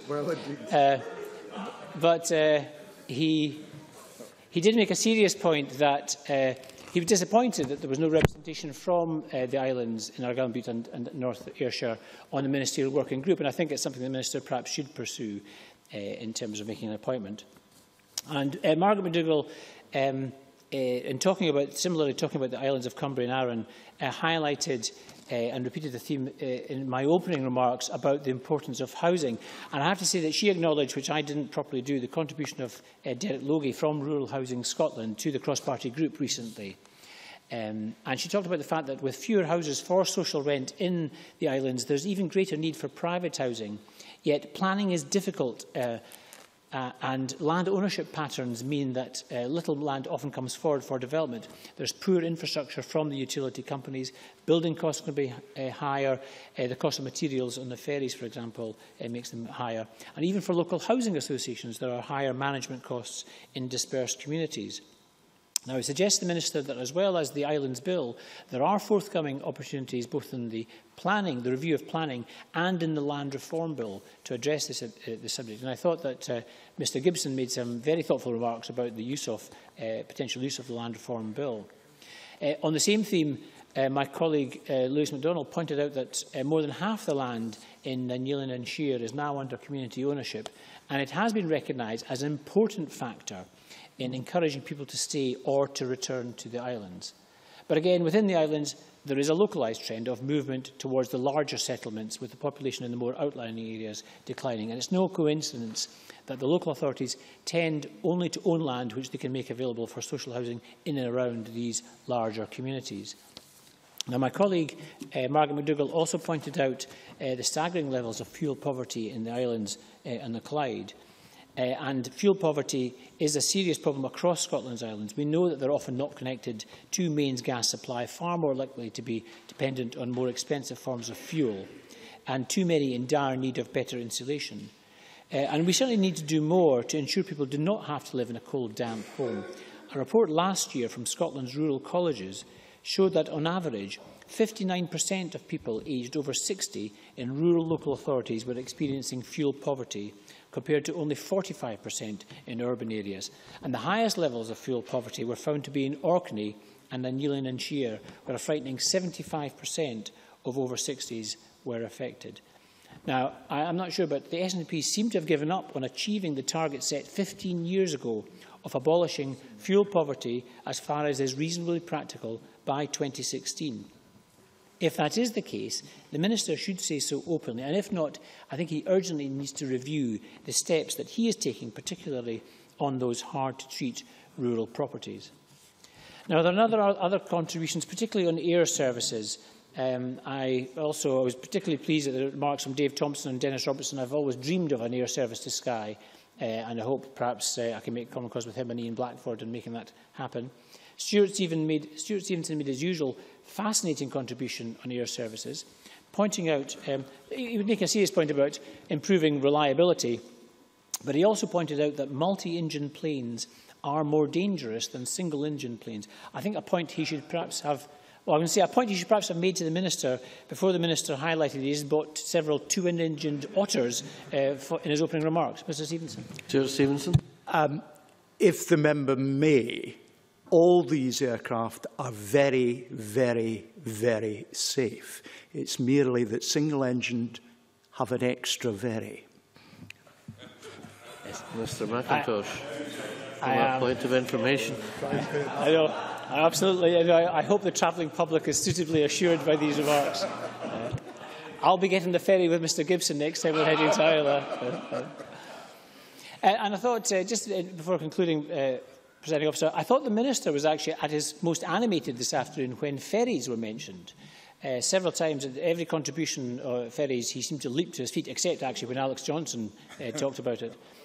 Um, and uh, my, my both uh, Margaret, uh, Margaret McDougall and Lewis MacDonald were simply trying to highlight that there is a great deal of anxiety. And I thought uh, my colleague Lewis MacDonald just pointed out that as Transport Minister under a Labour Liberal administration, under exactly the same EU terms of procurement, we were able to maintain and keep the ferry service in public ownership. And it's something that matters. Accountability to the public is something that matters to our islanders. And I hope the Minister, because he wasn't able to offer the reassurance when he was asked this, he wasn't able to offer the reassurance that this will happen. And I hope he'll take these points on board. Sorry, um, do I have time for Mr. Hurt? No, you haven't, no. Sorry, uh, Mr. Hurt. Um, Presiding officer, to conclude, Scottish Labour are, as, as, as is so often the case, uh, taking a constructive and consensual approach where possible to the government's proposals, but we will not shy away from highlighting the real work that needs to be done, the public services that need to be supported, the homes that need to be built, the jobs that need to be delivered.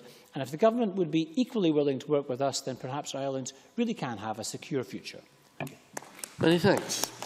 And I now call on Minister Derek Mackay to wind up the debate. Uh, Minister, you have until five o'clock.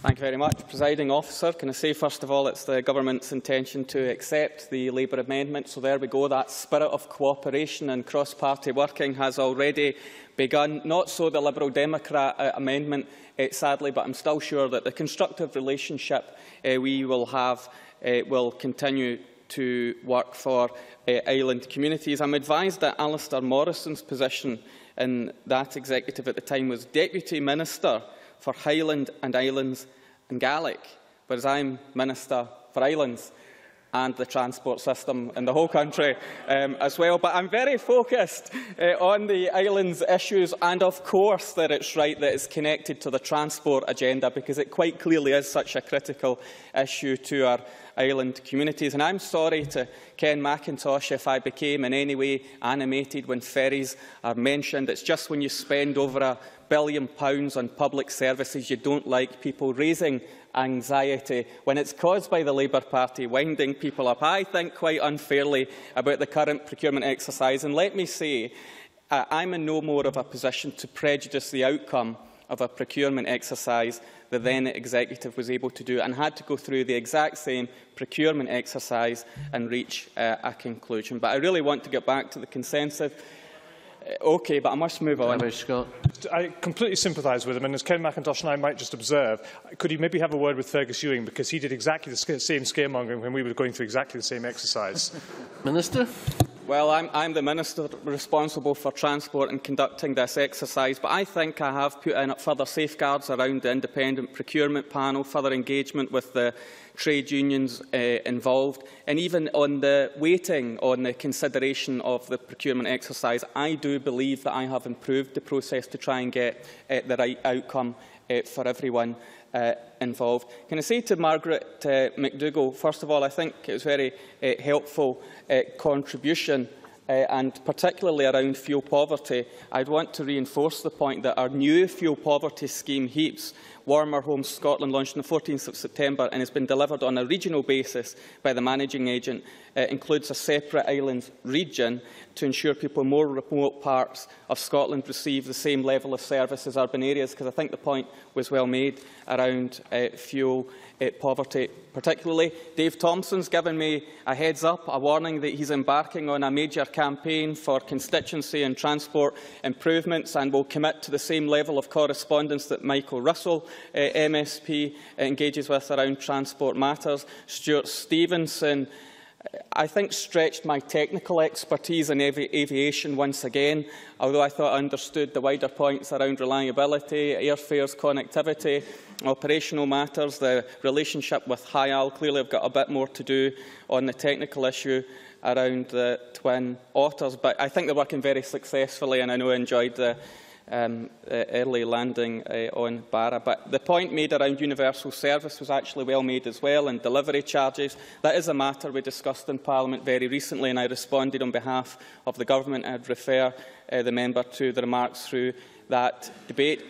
Michael Russell gave a very helpful reminder uh, around the fact that there are 93 inhabited islands of Scotland, and although the Our Islands, Our Future local authorities and campaign has been very effective, the work that we do as a government touches on all 93 inhabited island communities, and that requires extra engagement on the part of the government to ensure that the commitments that are made apply to all islands as appropriate, although some are quite specific to individual islands, such as the request and the aspiration to have that constituency protection uh, for the Western Isles uh, constituency within the Scottish uh, Parliament, of course. I'm very grateful for that reassurance, which will be well received in Argyll and Bute. I wonder if I can press the Minister to go one step further and to confirm that there will be representation from Argyll and Bute in any new strategic ferry group, which he announced earlier on.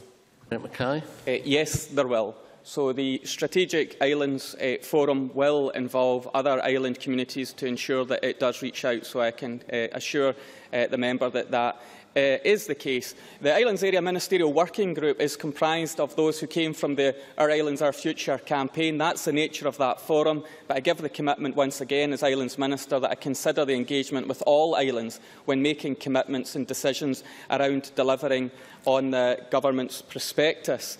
And I know a number of members have said the motion doesn't cover everything. Well, it, well, it couldn't possibly, but within the prospectus, empowering our island communities, much more is said on a whole host of other areas as to what we can do for our island communities. And there's a monitoring framework an action plan that sets out across the portfolios about what can be achieved in partnership, focusing on the islands' work.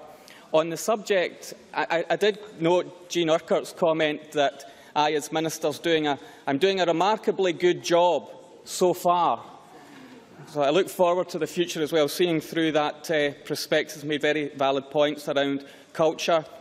Ken Macintosh's point around uh, planning and land reform is well made as well, and unlocking the economic potential of local communities to deliver that sustainable future um, uh, also. Tavish Scott made the point around the legislation and the current consultation. It's achieved consensus in the Chamber today, and he said, I'm not sure where this finishes. In truth, I'm not sure where this finishes either, but surely that's a good thing in embarking on an engagement that will bring in the comments of elected members and, more importantly, local communities as to what they would like to see transferred to them from London to Edinburgh, Edinburgh to local communities and within those local communities uh, as well. So I think that's quite an exciting and open-minded uh, approach uh, to take uh, on this. And Angus MacDonald covered the, the importance of the creation of an Islands Minister to give that cross-portfolio focus a, across a range um, of different uh, matters. Uh, our islands, our future, uh, the leaders of that campaign would admit it was taking the constitutional uh, opportunity of the Scottish independence referendum to think about how we could do things differently.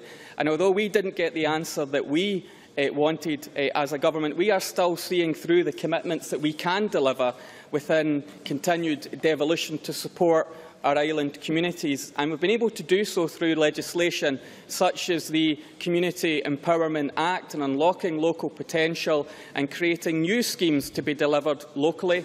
And we'll continue along that vein for the Crown Estate, where we have made a commitment uh, around the local benefits of revenues and resources deriving from local communities through the Crown Estate. Jayne Baxter, I thought, was very fair when she uh, pointed out that the consultation on further empowerment is considered fair and reasonable. It asked a number of very pertinent uh, questions around what could be done in terms of further supporting island communities on island proofing and the policy there, and Mary Scanlon's point about how that's analysed, how transparent we can be around that, on empowering our island communities, what powers would be appropriate to transfer, on the potential of a national islands plan to show what government and all our agencies can do to calibrate our decisions and our investments to support island living, the issue of constituency protection for the Western Isles, and of course the issue of electoral ward flexibility that with the best will in the world couldn't be implemented for 2017 but I think does represent an opportunity to take local government even closer to the people and local communities by changing the, the way we do business and having potentially fewer than three or four multi-member wards so that we can more accurately represent island communities, and particularly our smaller island communities. And Arran was a particularly good example of how and where that would apply.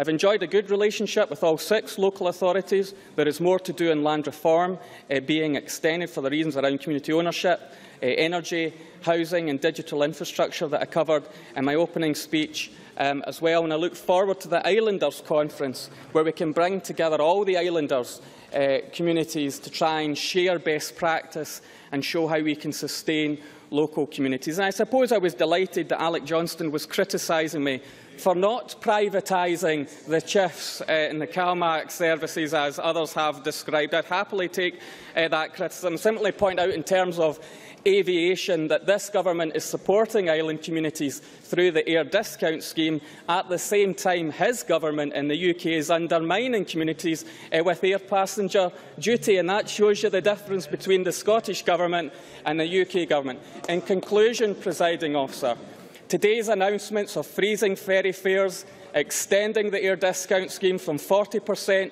to 50%, progressing the Islands Bill, more powers and protection, delivering, indeed in some cases exceeding the commitments in the Islands Prospectus, delivering on road equivalent tariff, the purchase of new ferries and new infrastructure, renewed focus on digital and energy, all a clear commitment to our island communities. And if today's relative consensus is anything to go by, I believe the next Parliament will be very well placed to take forward legislation to support our island communities.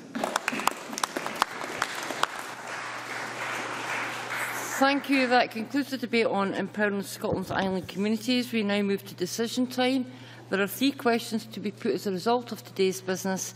The first question is amendment number 14448.2 in the name of Ken Macintosh, which seeks to amend motion number 14448 in the name of Derek Mackay on empowering Scotland's island communities be agreed to. Are we all agreed? Yes. The amendment is therefore agreed to. The next question is amendment number 14448.1 in the name of Leah MacArthur, which seeks to amend motion number 14448 in the name of Derek Mackay on empowering Scotland's island communities be agreed to. Are we all agreed? No. Parliament is not agreed. We move to a vote. Members should cast their votes now.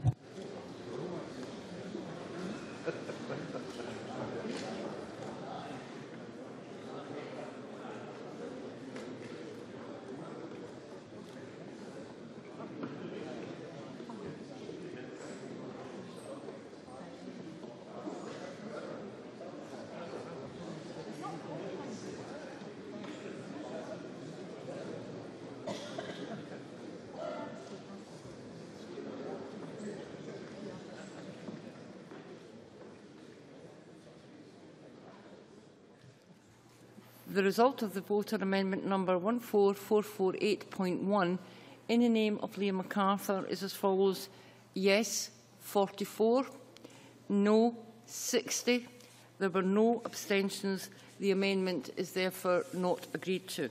The next question is that motion number 14448 in the name of Derek Mackay as amended on empowering Scotland's island communities be agreed to. Are we all agreed? Yes. The motion is therefore agreed to. That concludes decision time. We are now moving to members' business. Members who leave the chamber should do so quickly and quietly.